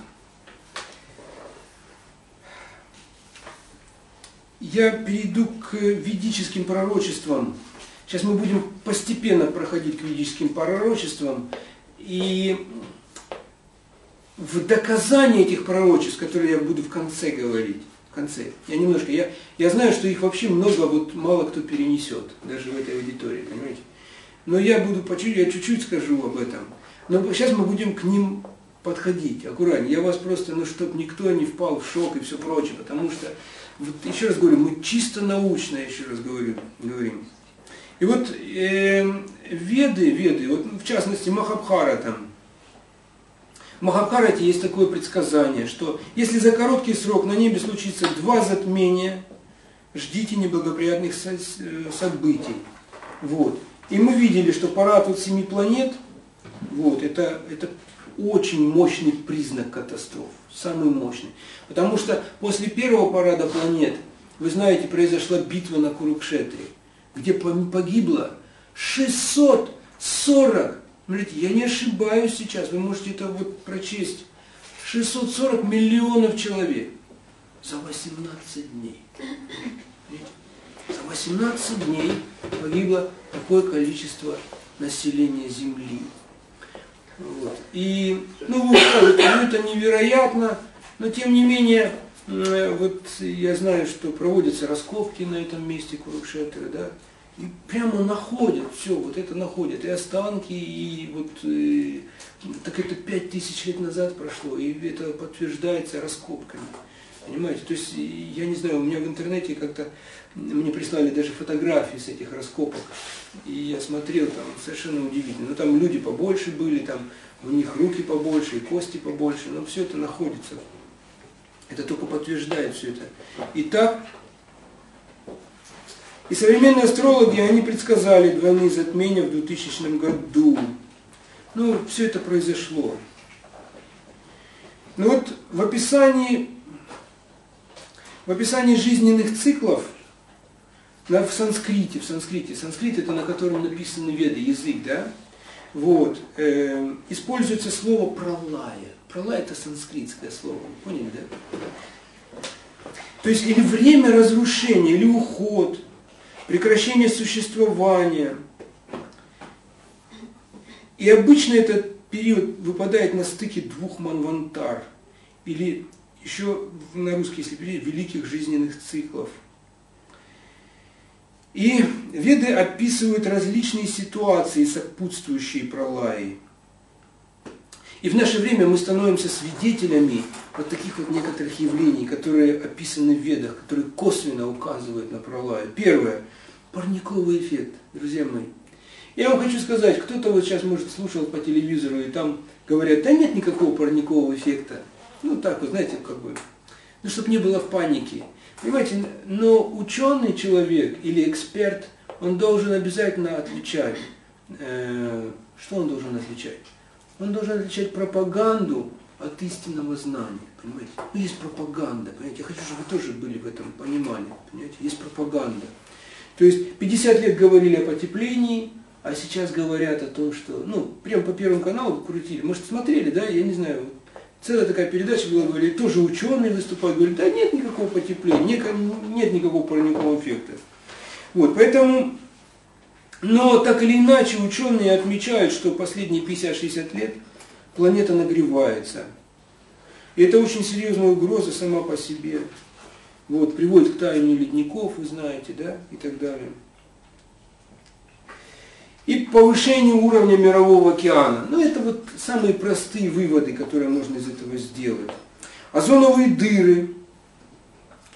Это я перечисляю с вам косвенные признаки пролая. Вы поняли, да? Сейчас все, очень, как бы у нас все идет по с точки, ну, как сказать, ну, шахматным порядком все.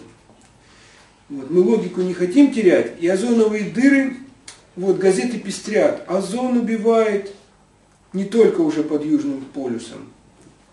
Дело в том, что озон, он защищает нас от таких смертельных солнечных лучей, понимаете.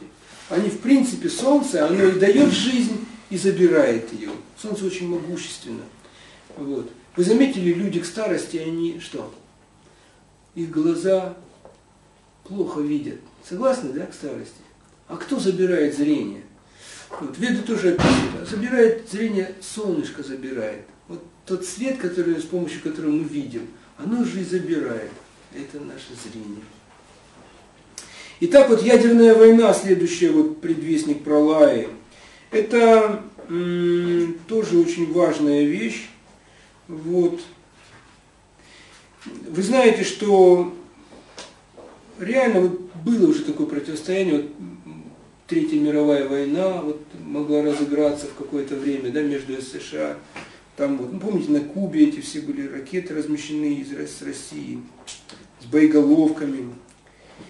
И Россия тоже была вот вступиться за Кубу готова, да, и атаковать США. То есть на Кубе разместили эти ракеты. Вот. И сегодня ситуация стала лучше, кто знает. Стало лучше. Нет, не стало ракет вот на этой земле. Или что? Или более такие мощные военные пришли, которые вот, ну, вообще контролируют ситуацию. Кто-нибудь из вас может сказать, что вообще все вот под контролем?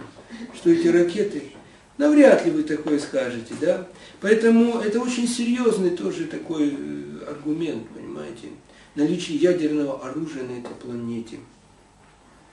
Это ядерное оружие очень несовершенное, которое сейчас создали люди. Они, они создали его по очень, очень примитивным технологиям, которые, смотрите, очень трудоемкие даже для целых государств и народов. Понимаете? Ну, для, вот, тем не менее, пойдя по этому пути взрывному, вот, и разработав эти вот, виды энергии, ядерной энергии, человечество обрело это оружие, вот, и, ну знаете, если дубина есть, да, то что? Она когда-то, что, ухнет. Дубинушка ухнем, да, ухнет она все равно. И, честно говоря, когда будет развязана эта война, это вопрос только времени. Но это я говорю не для обывателей. Я не знаю, кто будет слушать эту лекцию, но вот для вас, вот я вам сейчас, это не для обывателей, вот эта информация, понимаете? Это не то, что пришли, там вот мы семечки полускать, вот послушали там Сергея Николаевича. Речь идет совершенно о уникальных вещах, понимаете? Поэтому э, здесь нужно вкладывать, ну, как бы разум, что ли, в таком варианте. Э, но видите, в чем вопрос. Э, почему так? Потому что вот сейчас терроризм, да, очень сильно развивается. Терроризм, вы наверняка слышали, фанатизм вот это. Поэтому террористы, они тоже могут раздобыть это оружие. И ставки что? Весьма высокие, поверьте. Потому что, ну, просто бряцнуть там такой ракетой какой-нибудь булавой, захватить булаву, допустим. Да? Ну, Я, я не знаю, как это будет выглядеть, но если кому-то это удастся, то, пожалуйста, э, вот могут быть такие варианты. Очень много химического и бак- бактериологического оружия на планете. Это оружие более дешевое по производству. Вот. Они дешевле намного ядерного, но обладает огромной такой способностью поражения. Огромной способностью. Это смертельные эпидемии. Эпидемии. Эпидемия это такая очень реальная вещь. Поверьте мне, вот грипп, да, вот вы видите, как э, ну, люди, и грипп, вроде казалось бы, ну что там, простуда, ну люди умирают и от гриппа, и очень много, и смертность достаточно высокая. А, Вот. Поэтому я думаю, что вы с этим согласны, что это существует. Смещение полюсов, мы уже сказали, оно уже произошло на 200 километров, установленный факт. Магнитных полюсов. Но никто не знает, что будет дальше. Может быть, пойдут и что? И географические полюса вслед за этим. Это, понимаете, люди выкачивают нефть сейчас просто варварски. Просто все, нефть давай, а если есть нефть, давай ее качать. Веды очень четко описывают, что такое нефть. Нефть это кровь Земли. Но она существует, она в полостях Земли находится. И она существует специально, знаете, чтобы эта планета находилась на орбите. Чтобы она не, не сместилась, с орбиты не ушла. То есть она, она в космосе вот, определенное положение должна занимать. Ну, это как каждый из нас, он все равно какое-то у него есть пространство, да, так и у Земли, у матушки Земли есть такое пространство. И вот эта вот жидкость, жидкость внутренняя, вот эта вот нефть, да, она специально для этого создана. То есть, выкачивая эту нефть, мы очень сильно нарушаем баланс, вот этот вот баланс, гравитационный баланс. И Земля становится э, нестабильной на своей орбите, понимаете, нестабильной. Но это вот как минимум. Я вам очень минимальные, у меня мало времени, я вам даю очень минимальные э, объяснения, э, вот, потому что навряд ли у нас будет больше времени еще дальше. Эм, ладно. Ну, вот о кометах мы с вами уже говорили, да, о кометах. Кометы мы с вами договорились, что это живые существа. Ну и я вам честно скажу, комету не испугать ядерной пушкой. Кометы, я вам еще больше секрет открою, они призваны, призваны, ну, самим Творцом, творением, оказывать влияние на наше сознание. То есть они могут вызвать очень сильный эмоциональный стресс. Понимаете? Реально. Потому что эмоциональный эффект, если вот эта Земля, так сказать, быстро что-то там изменится, то это вот э, взять только Тунгусский, да, вот метеорит, как его называют, или вот эта Тунгусская история, она до сих пор не открыта, ну как не открыта для непосвященных, для посвященных это открытая вещь, вот, но тем не менее это впечатляет до сих пор. Вот оно в начале прошлого века произошло, вы знаете, это эффект такой. Его приписывают Тесле, да, что Никола Тесла произвел такой ну, взрыв вот, такой шаровой молнии, шаровой молнии. Ну, одним словом, вполне реальная версия, вполне реальная версия. Контакты с другими мирами. Эм, это тоже предвестники пролая, потому что чем больше вот таких вот контактов, тем больше, ну, это показатель, это показатель. И сообщений об этом вторжении извне очень много, вы знаете, да. И в умах людей эта тема наиболее противоречива. Вот. Однако древние ведические писания подтверждают о том, что факт существования живых существ, он реален, понимаете. И для э, ученых, э, которые изучают веды, это не новость. НЛО это только для ученых современных неопознанный объект, неопознанный. А в ведах описано 16 видов Вимана Шастри, 16 видов летательных аппаратов, каждый из которых делится еще на 16 видов, понимаете? То есть целая классификация летает. Неопознанные, это значит, ну вы ничего не понимаете. То есть мы не познаем, мы ничего не понимаем, мы не опознаем. Не, НЛО, мы ничего не понимаем. Это вот современные ученые говорят. Но любой, кто сталкивался с Вимана Шастрой, там деление это идет, знаете, по типу двигателя. И двигатели бывают разные. Одни двигатели есть такие, которые заводятся с помощью просто мыслей, мысли капитана. Ну, вот почитайте, короче говоря. Я больше ничего не буду говорить об этом. И э, несмотря на вот такую вот навязчивую убежденность современных людей в продвинутости нашей цивилизации, есть такое, да? Как вы думаете? Такие вот ходят все, знаете, вот. я фильм смотрел, 2012 год, так они там ковчеги там забабахали и все такое. Ну, очень продвинуто так все выглядит. Вот. И вот это действительно такая вот, ну, иллюзия, что ли, не знаю, я по-другому не могу назвать.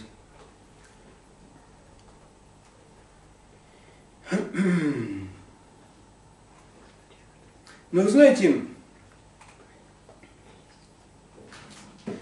на самом деле мы стали намного примитивнее сейчас, вот наша цивилизация так называемая. Потому что мы напичканы с вами материализмом. Напичканы. Мы, мы не, не, не проводим, так сказать, э, не способны заглянуть в суть явлений, потому что мы не видим другой составляющей, духовной составляющей в этом, в этом мире.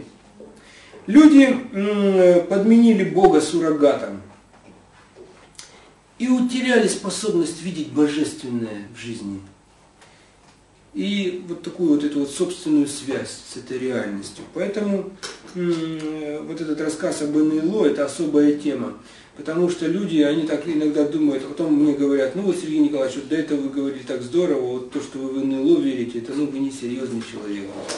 Вот. Но, понимаете, вопрос веры вообще не стоит здесь. Верят это вот, ну, я не знаю, вера это очень высокое понятие, а вот просто во что-то верить, там, лишь бы во что-то, ну это для чудиков.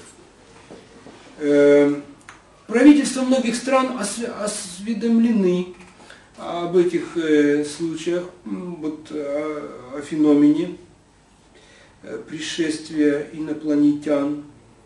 Но они препятствуют, вы знаете, да, распространению этого знания. И сегодня некоторые они признают свою неспособность держать руку на пульсе этого, понимаете, на пульсе этих э, случаев, потому что их становится все больше и больше, вот, и грядущие события для современных правительств, они просто непредсказуемы по большому счету. Эм, и нужно признать, если вот так вот положить руку на сердце, что современные правительства и военные, они не способны защитить людей от вторжения инопланетян.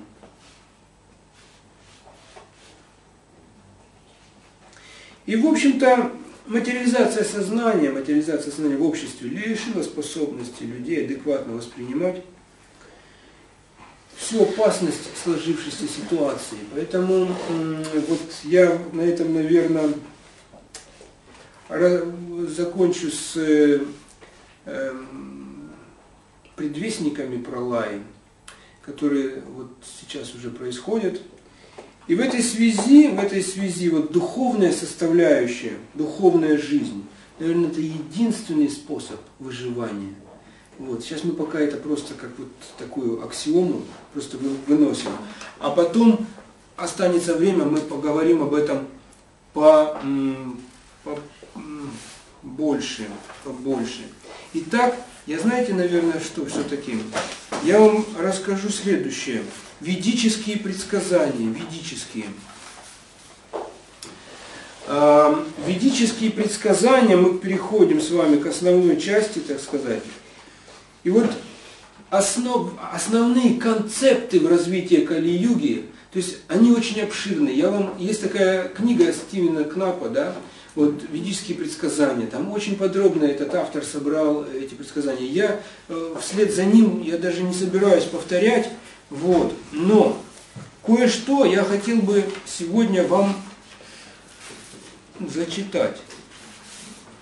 И вот знаете, что именно вот еще также вот в предвестниках, в предвестниках я не назвал еще такой феномен, как клонирование. Сейчас люди очень сильно завязались на клонировании, согласны, да?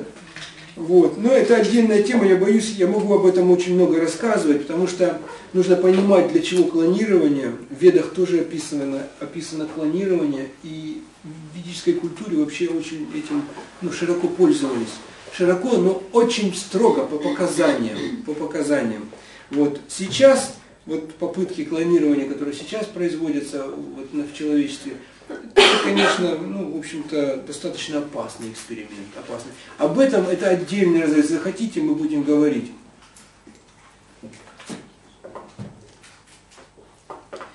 Итак, мы переходим к предсказаниям Вед насчет Кали-юги. Насчет Кали-юги. И мы с вами договорились, что концепты, давайте перечислим основные концепты, а потом их разберем. У вас есть еще силы слушать меня, дорогие друзья? Есть, да? Удивительно. Вы какие-то вообще непонятные вообще люди. Я потрясен, потому что я, наверное, уже вот уже ну, час или больше, наверное, говорю. Эм, итак, основные концепты вы будете записывать, или никто не записывает, вот кто-то записывает, удивительно. Это вообще просто потрясает. Итак,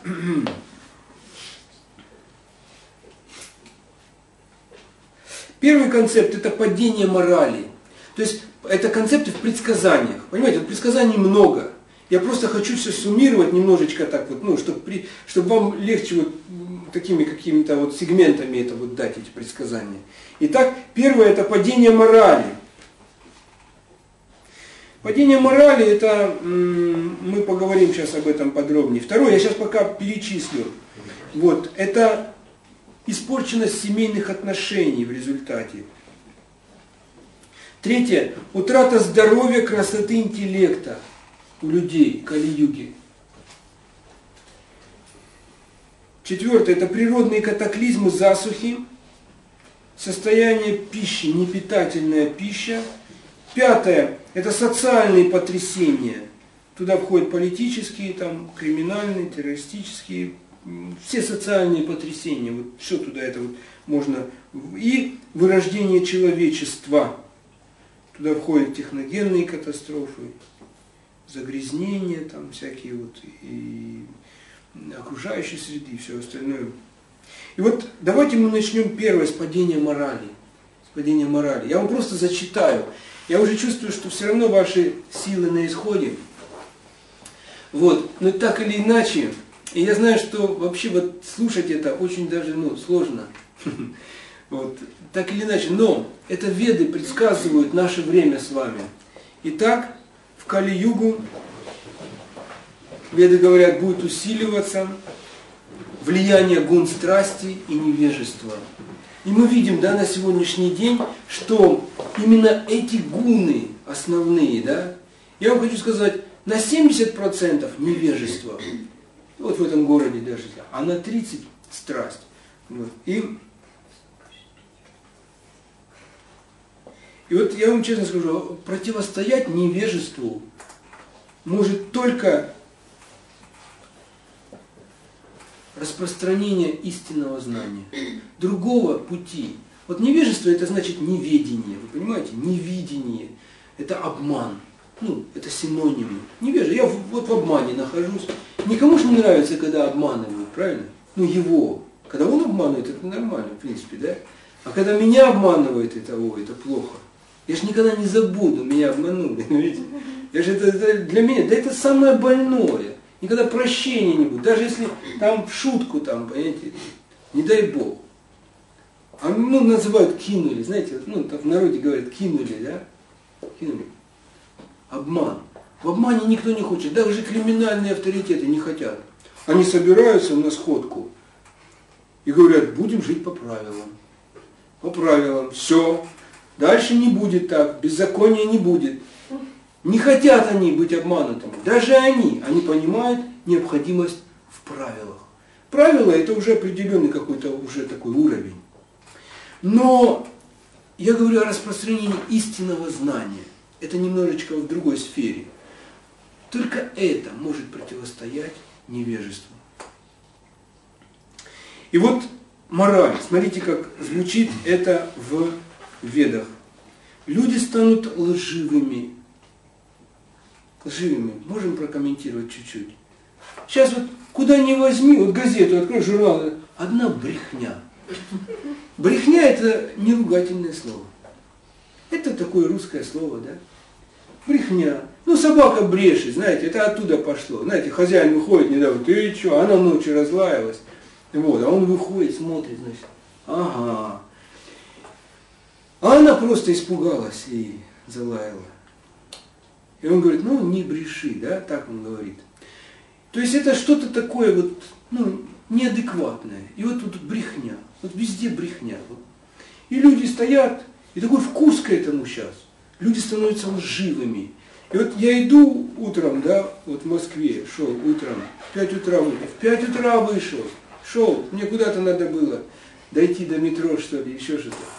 Я смотрю, какая-то стоит вот э, такой, знаете, ларек с газетами, и очередь людей. Я понимаю, в 5 утра в Москве, очередь людей, я сам это видел.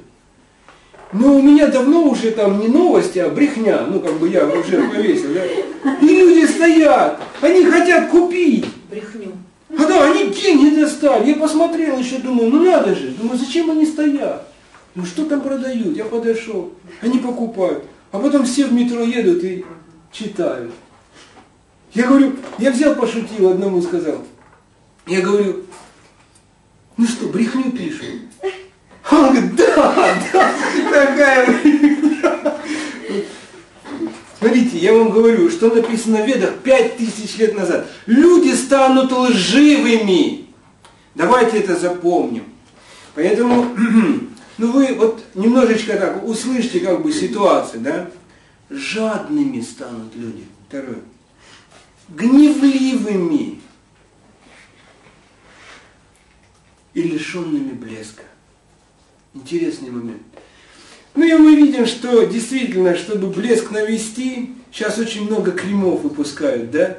Чтобы хоть как-то вот намазать это лицо, чтобы хоть так блестело. Или маслом, там уж если крема нет, намазаться, да? А люди вспыли, вспыльчивые по любому поводу и без повода. Не дай бог там на работе кто-то наступит да, мне на ногу там. Или там, а не дай бог в метро наступят. Там я же разнесу, порву в клочья. Очень гневливые люди. Вы обращали внимание на это, нет? Вот, вот просто маленькой искорки достаточно, чтобы человек завелся, чтобы он уже пришел вне себя. Правду веды написали пять тысяч лет назад. Ну давайте просто, это пять тысяч лет назад написано, я просто для вас выписал, вот думаю, сейчас назову, вот ради того, чтобы... В результате бездуховности, смотрите, как пишется, распространяться нищета. Ну, если вы, конечно, москвичи и обусловлены этим городом, вы думаете, ну, такой город, такой ну, богатый, можно показаться. Но в действительности, если вы ездили по миру, да, ну, кто ездил по миру, все равно немножко кто-то ездил, да, вы можете увидеть замечательно, что нищеты больше. Нищета, и в этой стране ее очень много, нищета.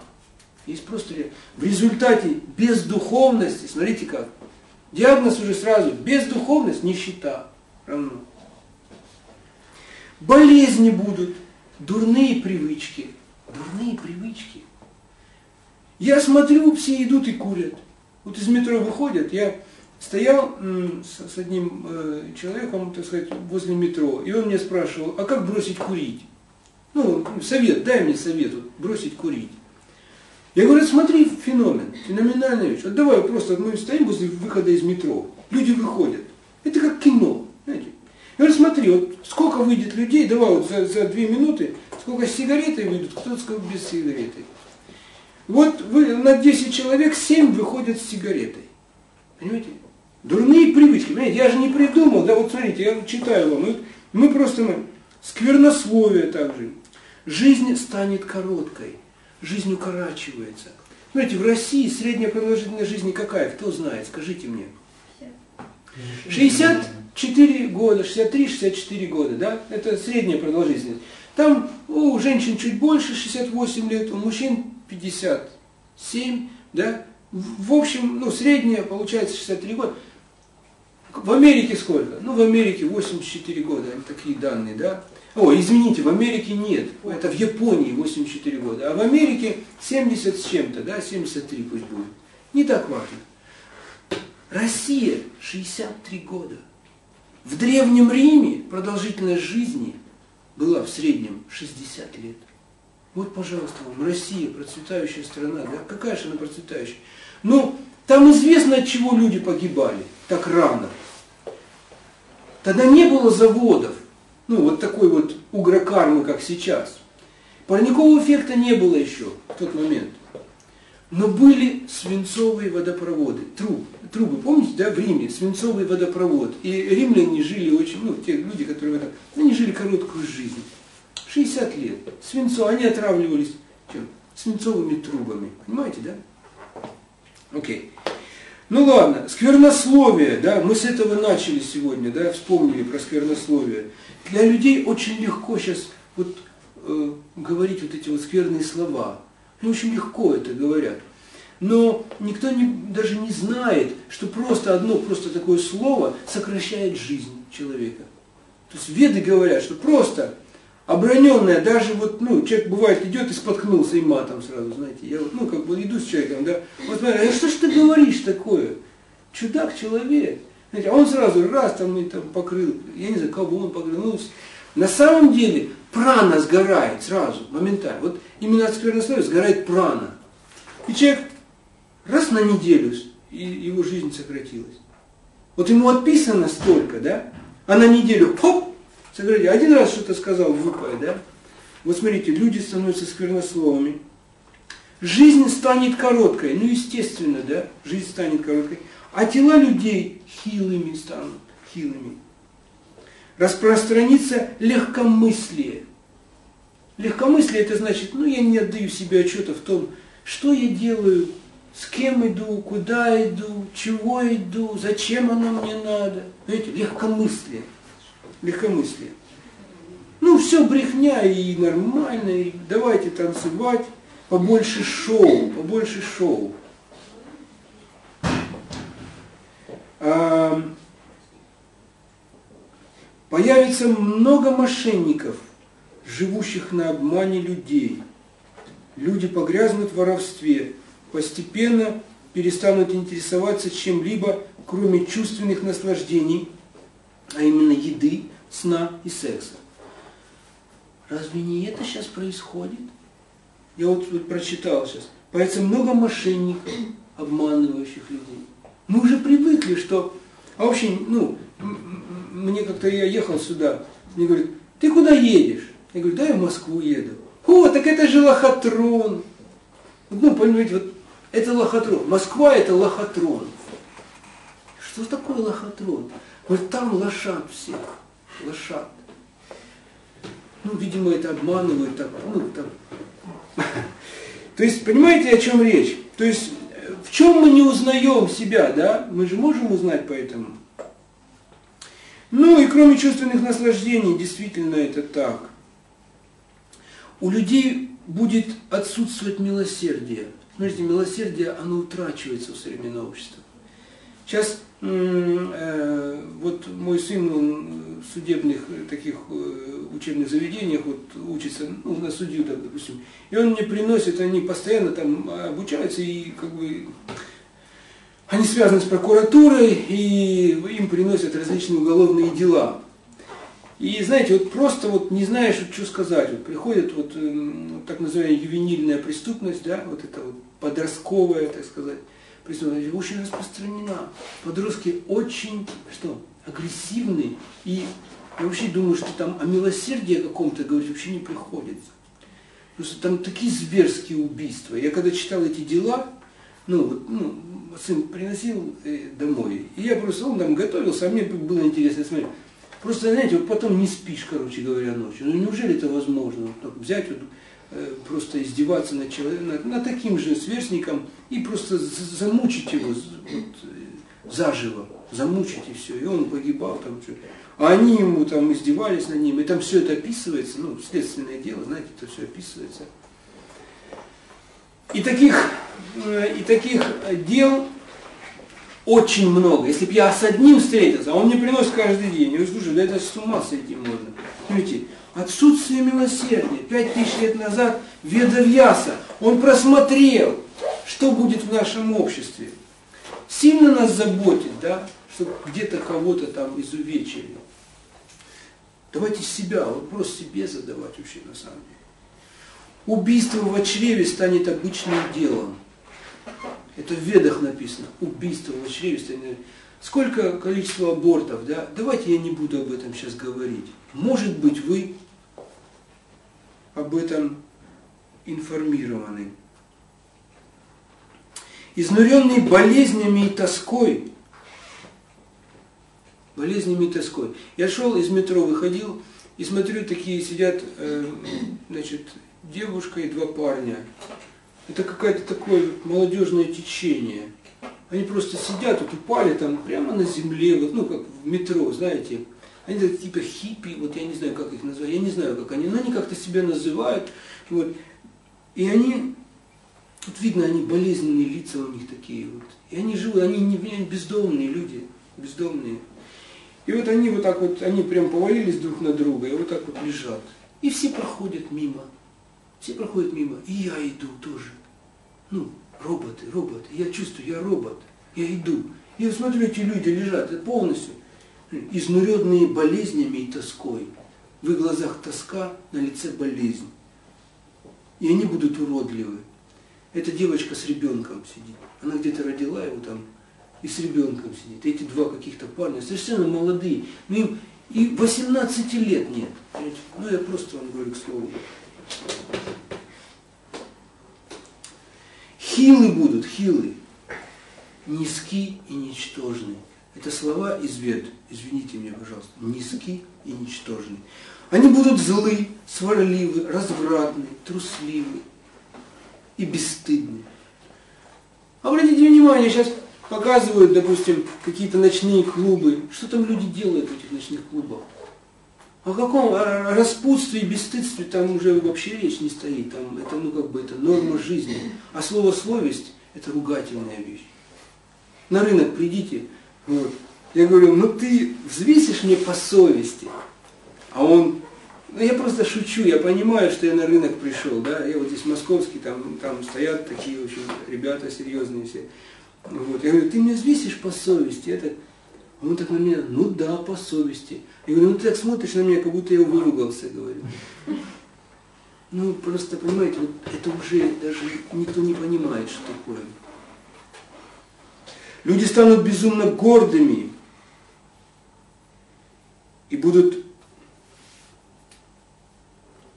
И они себя противопоставят морали и принципам. Морали и принципам.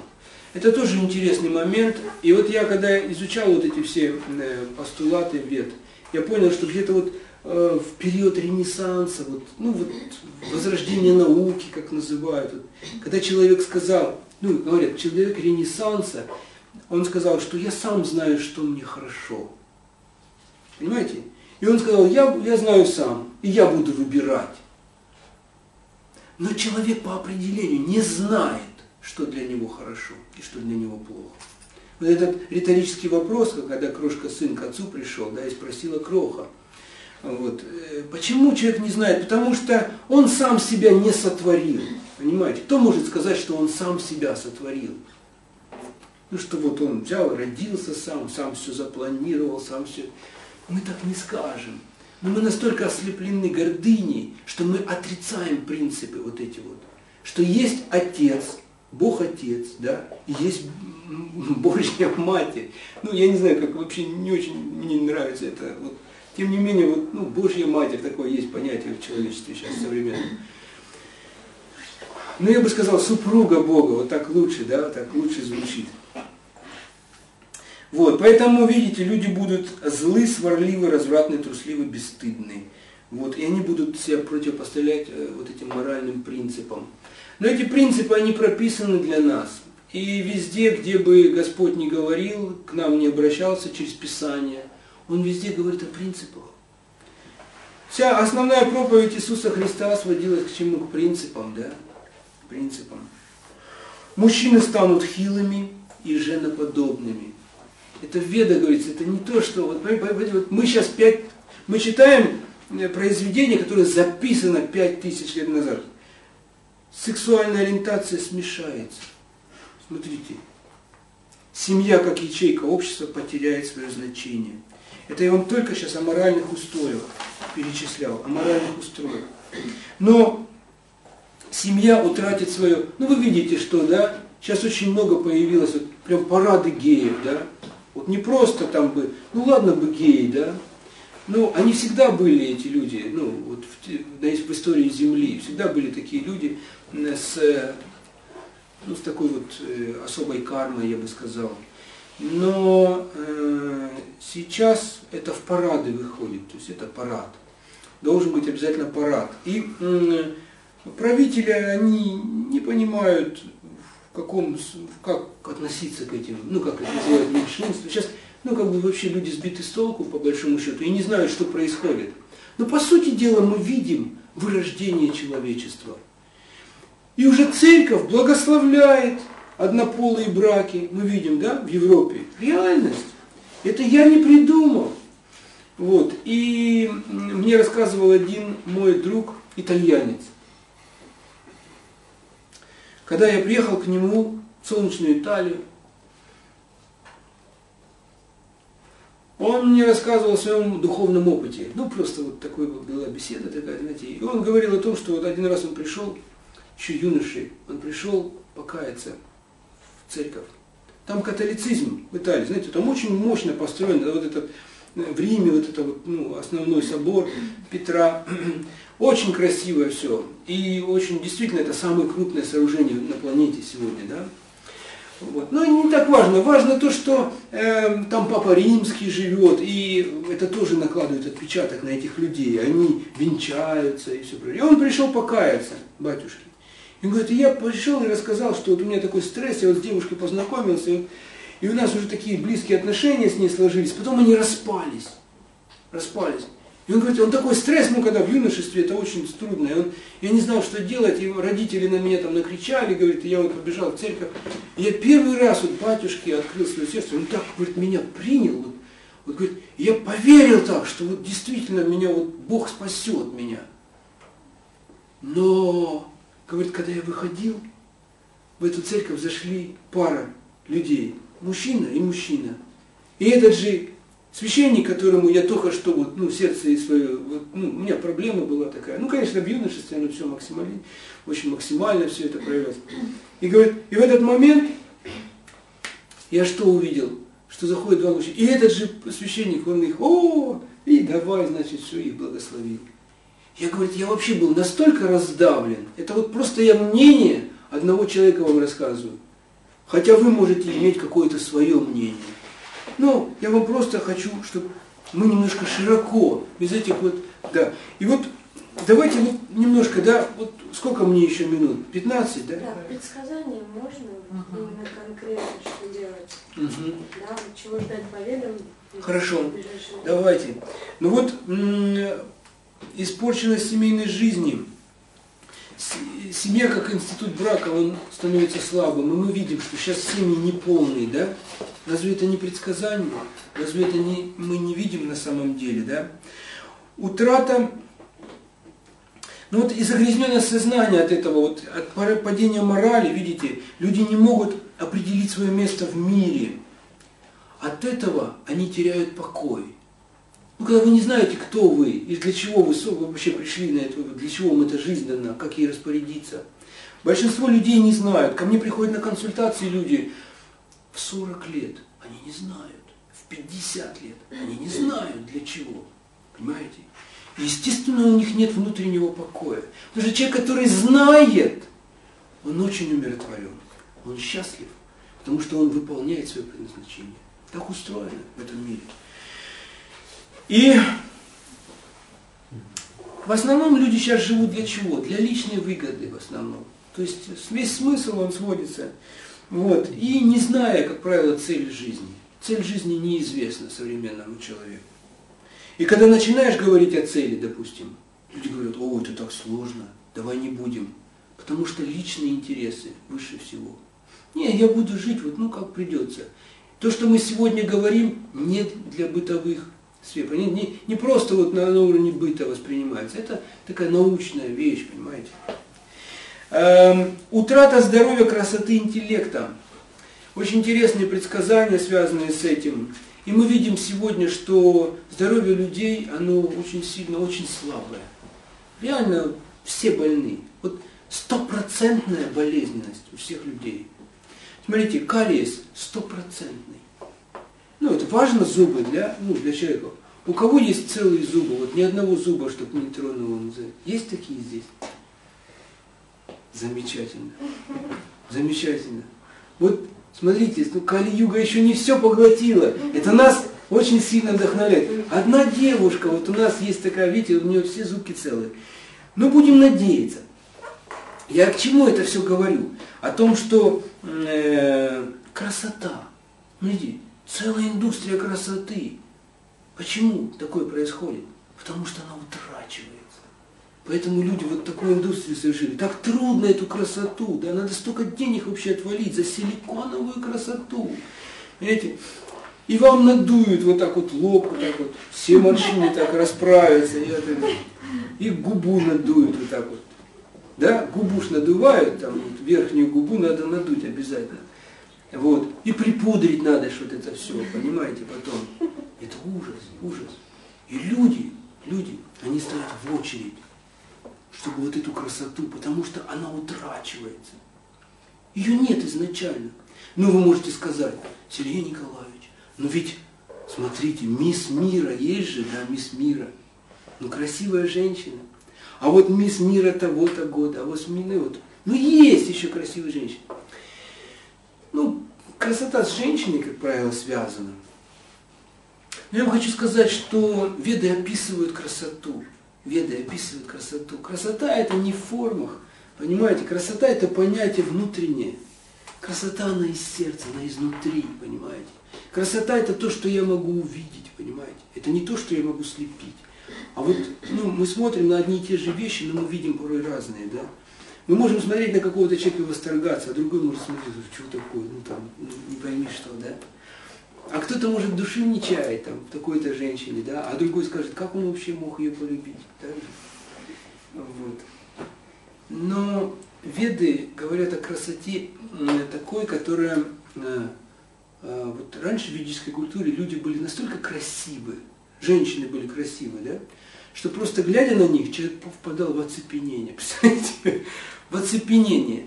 Я видел мисс мира одну, да, вот, ну просто вот, ну как бы была встреча там, и пришла мисс мира там, да.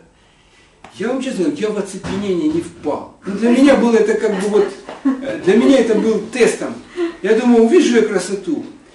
Поэтому, если вы будете вот думать о том, что нет такого, там, что я ошибаюсь, вот как вот там, допустим, ну, там можно подумать, да, то поверьте мне, красота все равно изъян есть. То есть, э, какая бы мисс ни была, ну, если так быть откровенным, то все равно что-то не так. Вот, там, может, ухостроение там слабенькое, или голень там немножко так, не так заточено, понимаете? Или я не знаю, что. Ну, каждый глаз найдет. Но есть вот такая красота, которая вот просто в оцепенение погружает. Это чтобы вы знали. А сегодня силикон. Хорошо, что еще не мозги, а только только вот ну, на уровне лица, может быть, там, я не знаю, э, лицо и очень модно сейчас вот грудь, обязательно грудь надо делать женщинам тоже силиконовую. Ну что я вам еще хочу сказать? Природные катаклизмы засухи, пища утрачивает питательность. Видите, вот это предсказано о том, что вот эти катаклизмы приводят к засухам. И этих засух очень много, поверьте мне. Целые засушливые районы на Земле сейчас. Есть огромные территории пустынь. В ведические времена такого не было. Чтобы вы знали. Ну, когда моральные принципы и культура, сознание людей было повыше. И эм, были, конечно, пустыни. Нельзя вот так сказать вот однозначно. Но территория пустынь вот этих аридных зон, в которых очень трудно выживать человеку, она увеличивается на этой планете.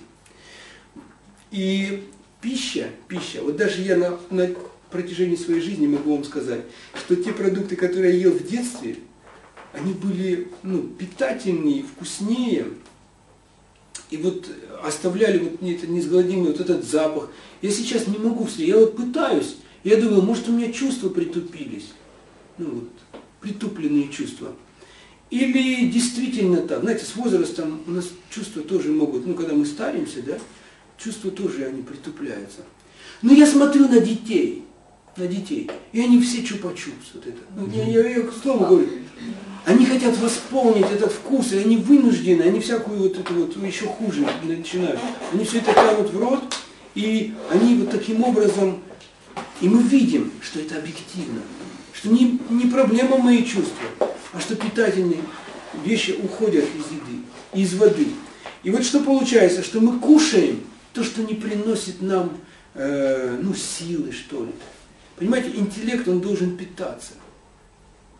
Вода утрачивает свои функции, она, она теряет вот эту вот возможность одарить нас вот этой жизненной силой. Потому что она уже начинает мстить человечеству за то, что к ней очень потребительски относятся. И точно так же продукты. И сейчас, если вы зайдете в магазин, вы не найдете ничего нормального, один суррогат. Вот поверьте мне, вот я не знаю, если не верите, ну зайдите в магазин какой-нибудь, вот, ну типа там супер, в Ашан зайдите. Э, ну все вот, знаете, такое, ну неестественное, ну неживое, все рафинированное. Согласны со мной?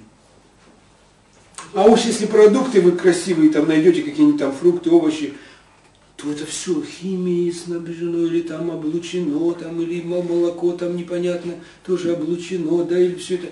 Ну вот, знаете, есть такой фильм, вот в интернете его выставили недавно, э, удивительный фильм, как он называется, «Еда», как-то... Вся правда еде. Осторожно, еда. Осторожно, еда. Совершенно верно. Осторожно, еда. Я думаю, что видите, уже люди реально, многие задумываются о том, что же они покупают. И, но мы читаем, что в ведах вот эти все, вот э, говорится о красоте женщин, да, что женщины утрачивают красоту, это в ведах предсказано, в Бавище Пуранах еще пять тысяч лет назад, и красотой будет считаться волосы. Длина волос, вот, это будет считаться красотой. Это в Бавище Пуранах написано. И мы видим, что сейчас женщины что делают? Своих-то нет волос, они лепят вот сюда, и любой раз, понимаете, по длине опять раз, раз, ну так же или нет? Или я придумал? Смотрите, вот я хочу, чтобы вы, ну как бы ощутили, ощутили время, потому что слишком, слишком люди мнят, что они очень продвинуты сегодня, и что их цивилизация очень высокого уровня. Но на самом деле я хочу, чтобы вы увидели реальность, деградацию. Если мы это не будем объективно ощущать и понимать, то мы никогда не сделаем правильных выводов. Я сейчас буду заканчивать свое выступление. И, конечно, еще, понимаете, я не сказал вам, честно скажу, и я только, может быть, десятую часть. Но хочу закончить одной вещью такой, что решение всех этих проблем, вот, и ну, 12 -го года, там, есть русские веды, которые говорят о том, что в 15 году, вот в 2015 будут вот эти вот пролаи ожидаются и так далее. И как бы оно ни случилось, понимаете. Но вот этот э, призыв Девы Марии, там, и, ну, в общем, и, так сказать, и ведические призывы, понимаете, это не фатализм какой-то, а именно призвание к тому, чтобы мы сделали свой выбор. И этот выбор, он уникальный, понимаете? Потому что решение проблемы, проблемы в смене парадигмы нашего сознания. То есть, если мы не захотим расширить наше знание до принятия духовности, то что это реальность, что мы есть духовные души с вами, и что существует верховная личность Бога, понимаете, который законодатель, так сказать, всего этого, то мы, то судьба человечества, она такая весьма будет такая, знаете, непредсказуемая, потому что если, ну, какова судьба ребенка, сына, допустим, который не признает своего отца? Ну какая? Он становится блудным, да? Ну так же, да, вы слышали такие какие-то рассказы, да? Вот. И как вы думаете, если вот, ну, типа того, что ну, Бог там, не пойми что, а мы вот здесь сами боги. И вот э, в таком положении нам очень трудно, понимаете, выжить.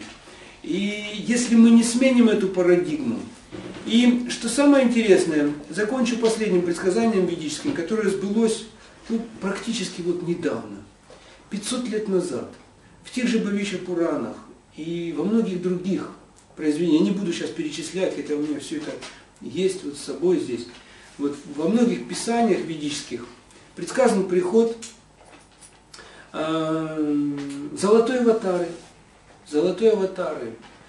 То есть это Господь в золотом обличии. И он пришел 500 лет назад. Ну, если а, а, отлистать вот 500 лет назад, вот, э, он пришел примерно в это время на землю. Это очень редкая аватара. Это сам Господь, только он, он разные обличия принимает. Очень, она приходит один раз в 28 махакаль. Представляете? Это, ну, не каждую югу, не каждую кали-югу, вот, а вот 28 кали-юг пройдет, вот один раз придет золотая аватара. Понимаете? Вот, ну, вот так вот веды описывают этот приход. И э, эта аватара пришла, и, и имя этой аватары, это, его зовут Шри Чайтанья, Шри Чайтанья, Махапрабху. Шри Чайтанья, вот так вот, Шри Чайтанья, очень благоприятно повторять, Шри Чайтанья. И вот эта золотая аватара, вот помните, я говорил, почему не все предсказания сбываются?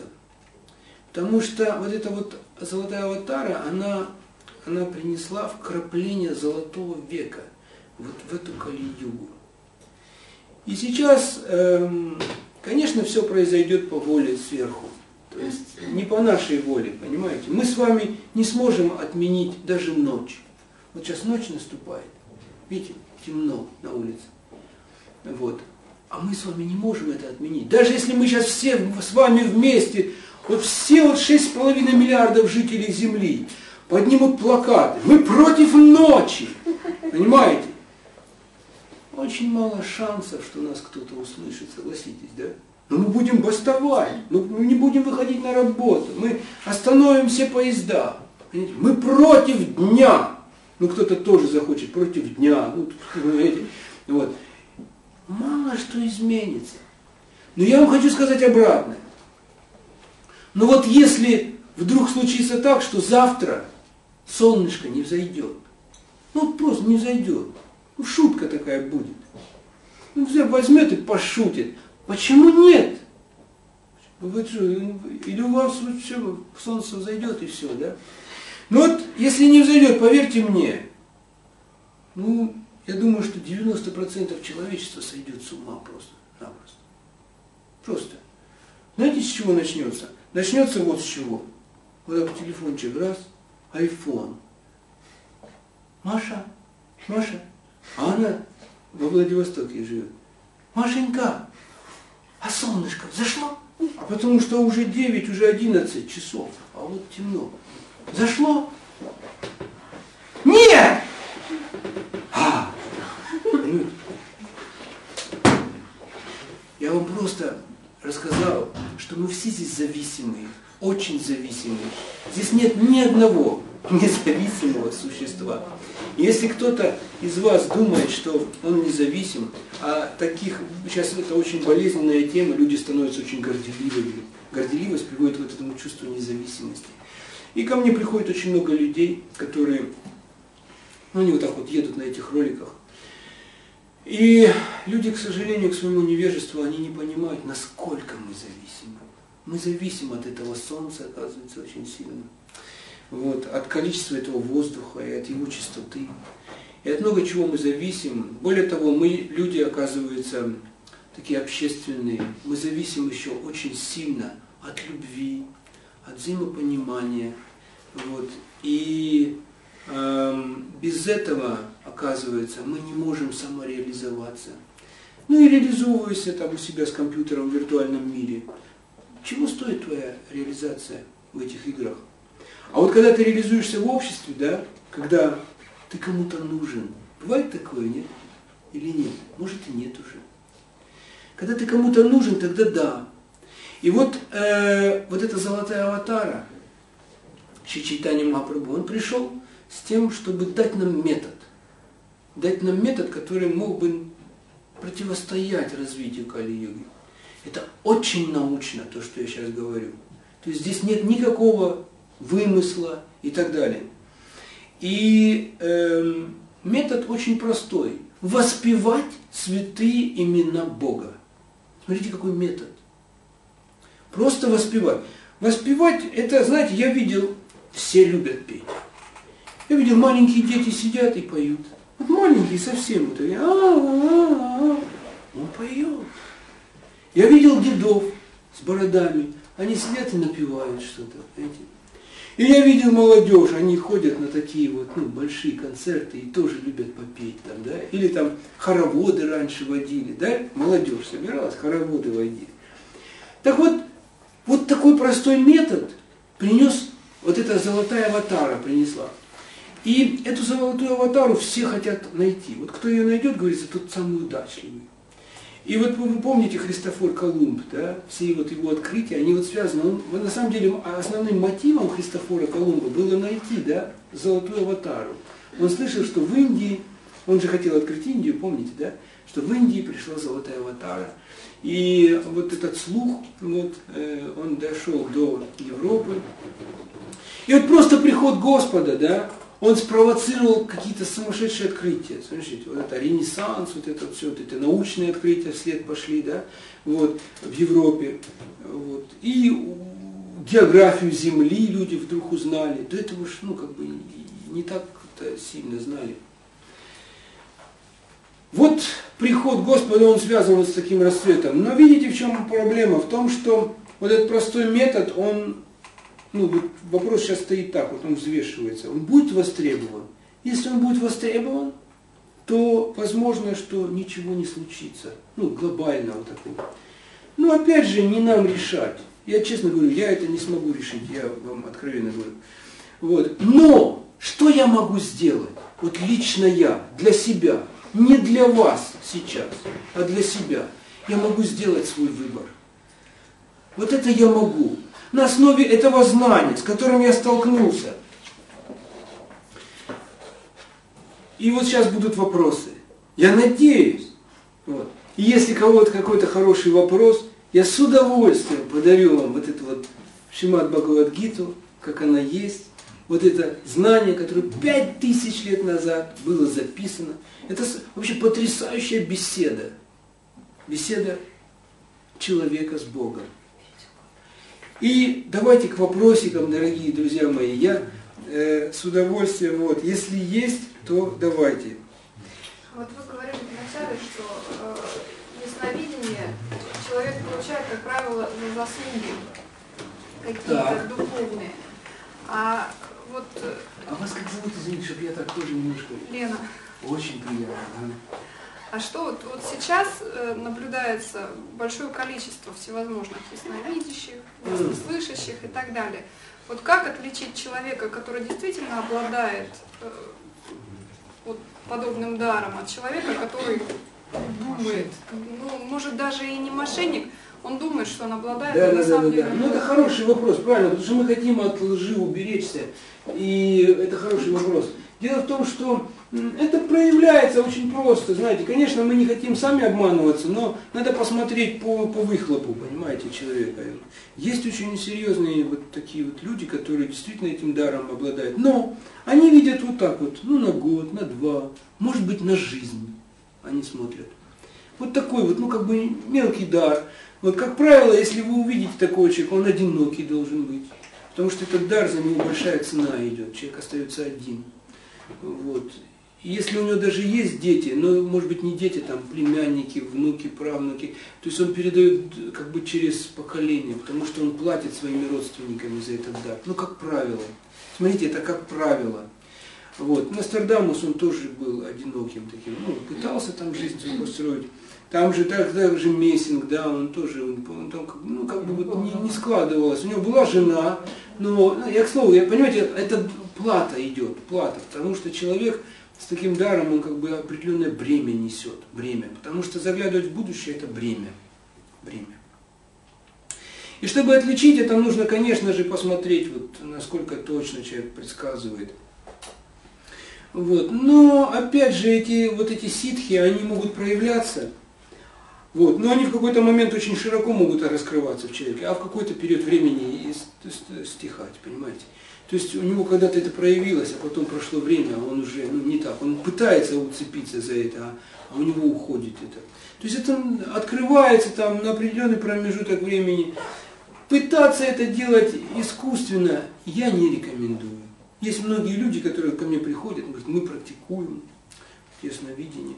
Дело в том, что это можно открыть, это можно открыть. Это нужно обязательно, чтобы вот эта чакральная система вся была, работала очень хорошо. Были открыты чакры, особенно вот этот вот так называемый третий глаз. Это тоже такая чакра, вы знаете, да, вот здесь есть. И вот когда она у вас хорошо развита, то вы можете увидеть вот эти вот э, будущие явления.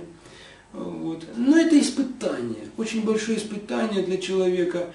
И я всегда говорю, что более разумно не пытаться открыть в себе что-то, а взять авторитет, который уже доказал тысячи раз и ни разу не прокололся. Понимаете?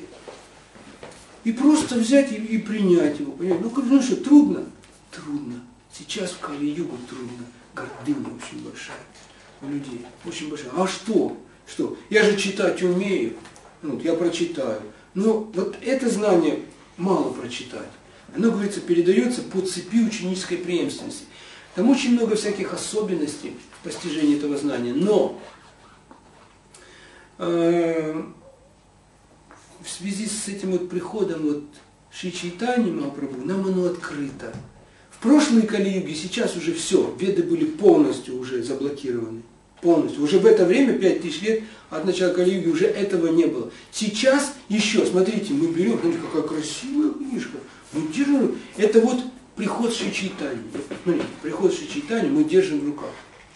Это его дар, дар человечества. И вот мы видим, что это вот, ну, вот реально до нас дошло. Вот. Я не знаю, ответил я вам на ваш вопрос определить. Ну, Ну, понимаете, без это- дополнения, Ну, да. можно ли э, доверяться собственной интуиции Ну, или ощущениям своим? Знаете, это важная вещь, интуиция. И мы все равно на нее полагаемся, так рано или поздно мы полагаемся. Но не надо на это делать ставку, потому что мы можем ошибаться. Э, И лучше полагаться на авторитетные вещи и затачивать свое сознание именно вот в авторитетных каких-то мыслеформах. Вот в этих ведических, допустим, всяких постулатах. Потому что, а какие основные постулаты? Я вечная душа. Это один постулат. Я вечная душа. Я слуга Бога. Это второй постулат. И есть Господь, да, Верховная Личность Бога, который, что очень счастлив будет, если мы о нем вспомним, наконец-таки. Вот. И он очень, он очень отзывчивый, оказывается, эта вот личность. Вот. Он очень рад будет нашему воспоминанию. И так далее. То есть есть наука о Боге, есть наука о душе, понимаете, о наших отношениях с Ним. Вот это веды. Я слуга Бога, я не Бог, понимаете? Есть очень много сейчас обманщиков, которые говорят, что вы все боги. Я вот, я начинал свою вот познавательную деятельность, тогда в Савдепе еще вообще не было книг вот о Боге вообще. Ну, я это, это 20 лет назад. Вот. И мне попалась книжка Ошо. Ошо. Может, слышали такую, нет? Ошо. Или- Оша. Оша, Оша, Оша. Оша. Оша. Да. Оша. Да. А может, Ошо? Это по-украински. Окей, окей. Я не разбираюсь в этом. Я думаю, святой, да. Но такой ли уж святой, понимаете? И вот смысл такой, что я думаю, что он меня тогда сильно зарядил в свое время. Вот. И мне понадобилось лет 15, чтобы понять всю пагубность его философии. А сейчас люди понимают это очень быстро. Вот ко мне приходит молодежь, Они так быстро разбираются. Ну, это не те, которые вот из метро вышли, там, помните, ну, ругались это. А есть другая молодежь. И я тоже это вижу, как, как вот предвестники вот этого золотого века. Есть разные люди. Они приходят, говорят, да, Оша, говорит, имперсоналист. Ой, моя Вади он. Это мне молодежь говорит. Я говорю, слушай, откуда ты это знаешь, а? Я говорю, я, я тоже вот начал вот это, я 15 лет это не мог понять. Вот, и- и- мне уже пятый десяток, и я вот это вот В чем пагубность мне, когда я читала книжки, Отличный вопрос. просто, сказать, великолепно. а, они вот именно а, о том, что человек развивался для гармоничной любви, там, да, то есть любви с природой. Да, а попробуйте забрать любовь. В чем Вот смотрите, вот смотрите, а попробуйте забрать любовь вообще. А что останется? Конечно, он пишет о любви. Но самая большая ошибка Он в его учении. Что, что надо, наоборот, жить любви, что жизнь это любовь. Да. Любовь это, это к жизни, любовь к себе, да. Ну, как бы я, я, я не говорю, я, я прям так досконально не читала, да, то есть, Ага. чтобы вот прямо там ну. Но я не хочу сейчас вот в такой диск это превращать. Я, я нет, даже не ну, знаю, я просто хотел это мазком сделать. Ну, сказать, почему, в чем пагубность. Вы знаете, пагубность я скажу. Очень простая. Имперсонализм и моя вада – это такая вещь, когда человек, он, он себя ставит Богом, на место Бога. Он не ставит себя Богом. Я вам могу доказать это во многих, просто вы не Он заметили. просто пишет о том, что в каждом человеке частичка Бога, понимаете, и в том числе и в нем тоже. Да, но в конечном итоге я должен стать Богом. В конечном итоге. Я вам это могу показать. Ну, это, и, и, как сказать, ну, вот это, опять же, не надо же э, принимать все буквально, да, что, Ага. что значит стать Богом, да, то есть это, опять же, просто, а, а, ну, или, не знаю, там, может быть, уже там в другой жизни, там, еще что-то, просто переродиться в других, более других, как бы сказать, там, формах и, ну, не знаю, стать более, там, чище. Вы знаете, вот давайте так мы остановимся. Смотрите, это хорошее очень, правильно, вот мне очень понравился ваш вопрос. Я, наверное, его сделаю самым важным вот в нашей встрече. Нет. задать, просто у меня много Нет, вот мне очень нравится про Оша, когда вот именно то, что вы не- вот не согласны. Давайте так мы сделаем. Я, как бы, у меня сейчас, я могу, это целое уже будет, вы все устали. И я вам просто скажу, что Оша, он во многих местах, он, это человек, по сути дела, ну, но чтобы вот это вот изобличить, вот это вот увидеть, это надо очень дотошно изучать. Навряд ли современные люди, которые читают его, ну я вам честно скажу, дотошно изучают, так как это, допустим, делал я. Но э, я на сегодняшний день знаю многих, которые также изучают, как и я, и они тоже сходятся со мной в этом мнении. Но вот я вам сейчас сказал о том, что человек это слуга Бога. Человек, вот мы, да, душа, душа. Ну, ну, у каждого сердца у нас душа.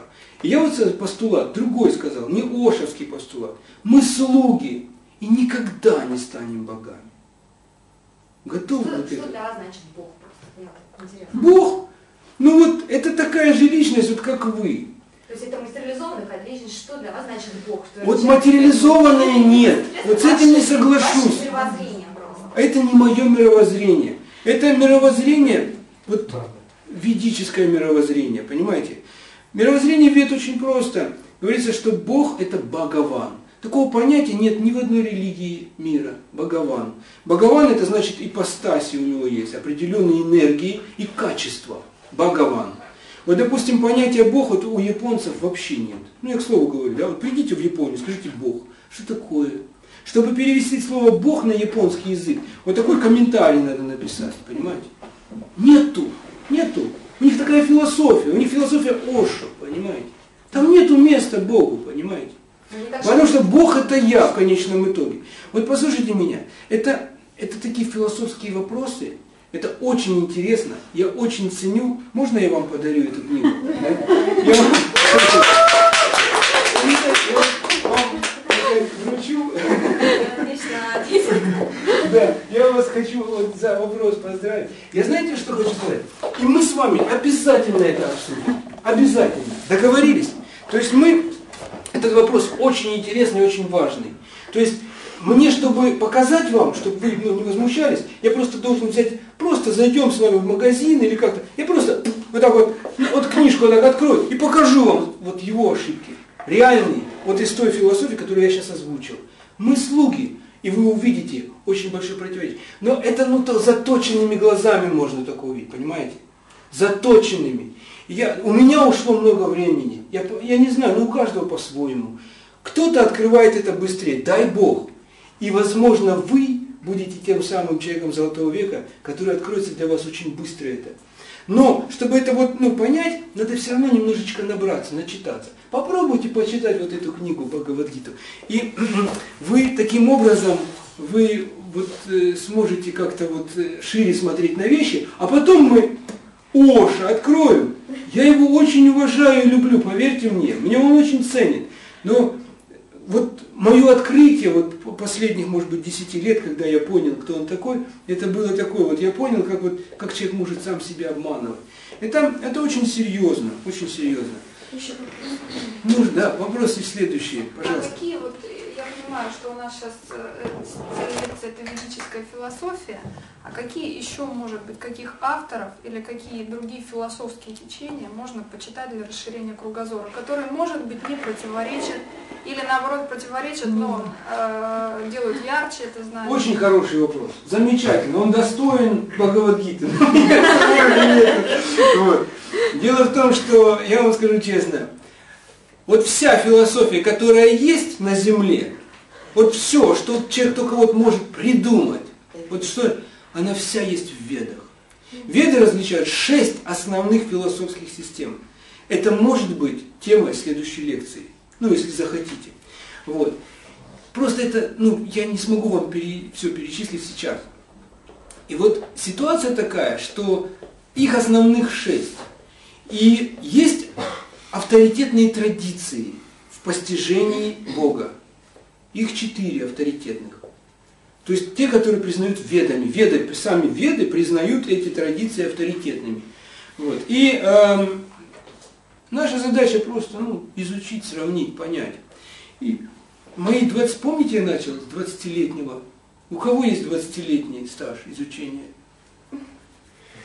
Ну, есть люди такие, поверьте мне, я встречаюсь с такими людьми, у кого есть и 30 лет, которые каждый день изучают, и больше даже.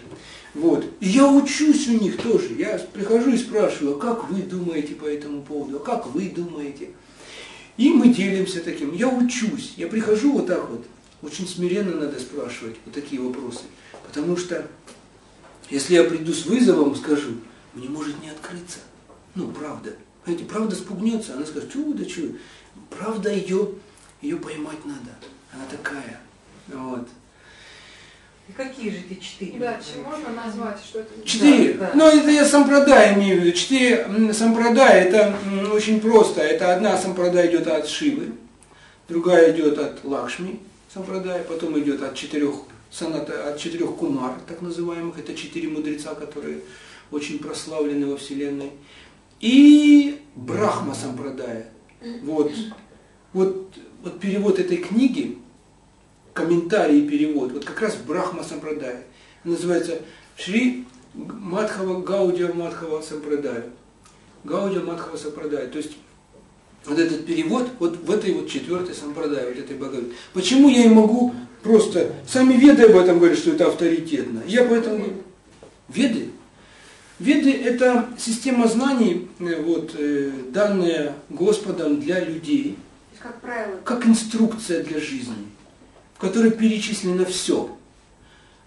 Как жить, как умирать, как, из чего состоит этот мир, и что за- находится за пределами этого мира. Кто мы такие и что нам делать в этой жизни.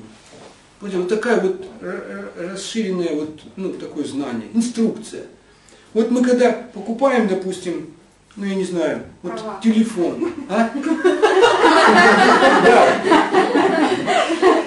Вот если я, да, вот, можно права, да, права. Ну, вы поняли, да, мы поняли, где мы живем. Вот мы купили телефон.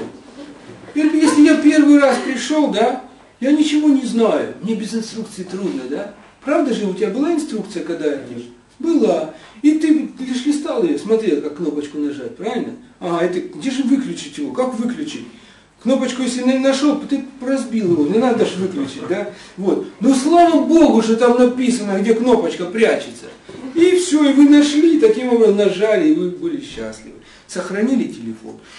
А ситуация такая, что э, у нас сплошь и рядом вот это, понимаете, мы не можем без инструкции. О, это к нам кто-то пришел говорить о конце Кали-юги и начале Золотого века.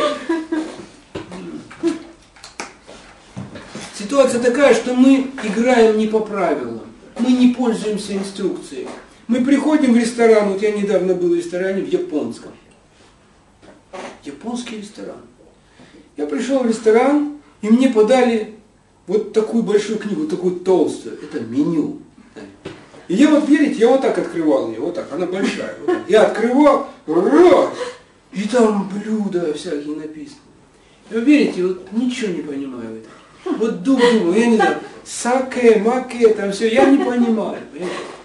И эта ситуация, конечно, она меня очень, очень-очень впечатлила. И вроде мне выбирать надо блюдо, понимаете, выбирать. А я не знаю что. Понимаете, вот так вот люди сейчас живут. И я выберу, а что я выберу? Может мне это не понравится? Какие-то устрицы принесли моему соседу. Понимаете? Я думаю, мама родная, что это, куда я попал? Понимаете? А? А может фугу? Рыба такая ядовитая. А, ну вот, смотрите, вот еще раз говорю. И вот ситуация складывается следующим образом. Если мы играем не по правилам в этой жизни, да, наш результат непредсказуем. Что я выберу в этом меню? Я не знаю правил, я не знаю этих названий. Понимаете? Я не по правилам. Вот. И вот так мы же, вот приходим, игра, виртуальная игра продается. Покупает ребенку. Ребенку приносят, и смотрит, этот ребенок, он с роликов съехал, да, и он на все кнопки нажимает. Какие ему там инструкции? Она игра идет, она так задумана на такого ребенка. Он будет все нажимать, она будет идти. Что он там выиграет, непонятно. Знаете? Но он просто нажимает, вот и все. И вот мы точно так живем. И вот я призываю, конечно, по возможности, живите осознанно. Старайтесь жить, вот, старайтесь жить вот в этой гармонии с этими законами, которые уже есть, которые мы не можем отменить, которые уже существуют. И смотрите на все реальными глазами. Спасибо вам большое за внимание. Я был счастлив. Всего доброго.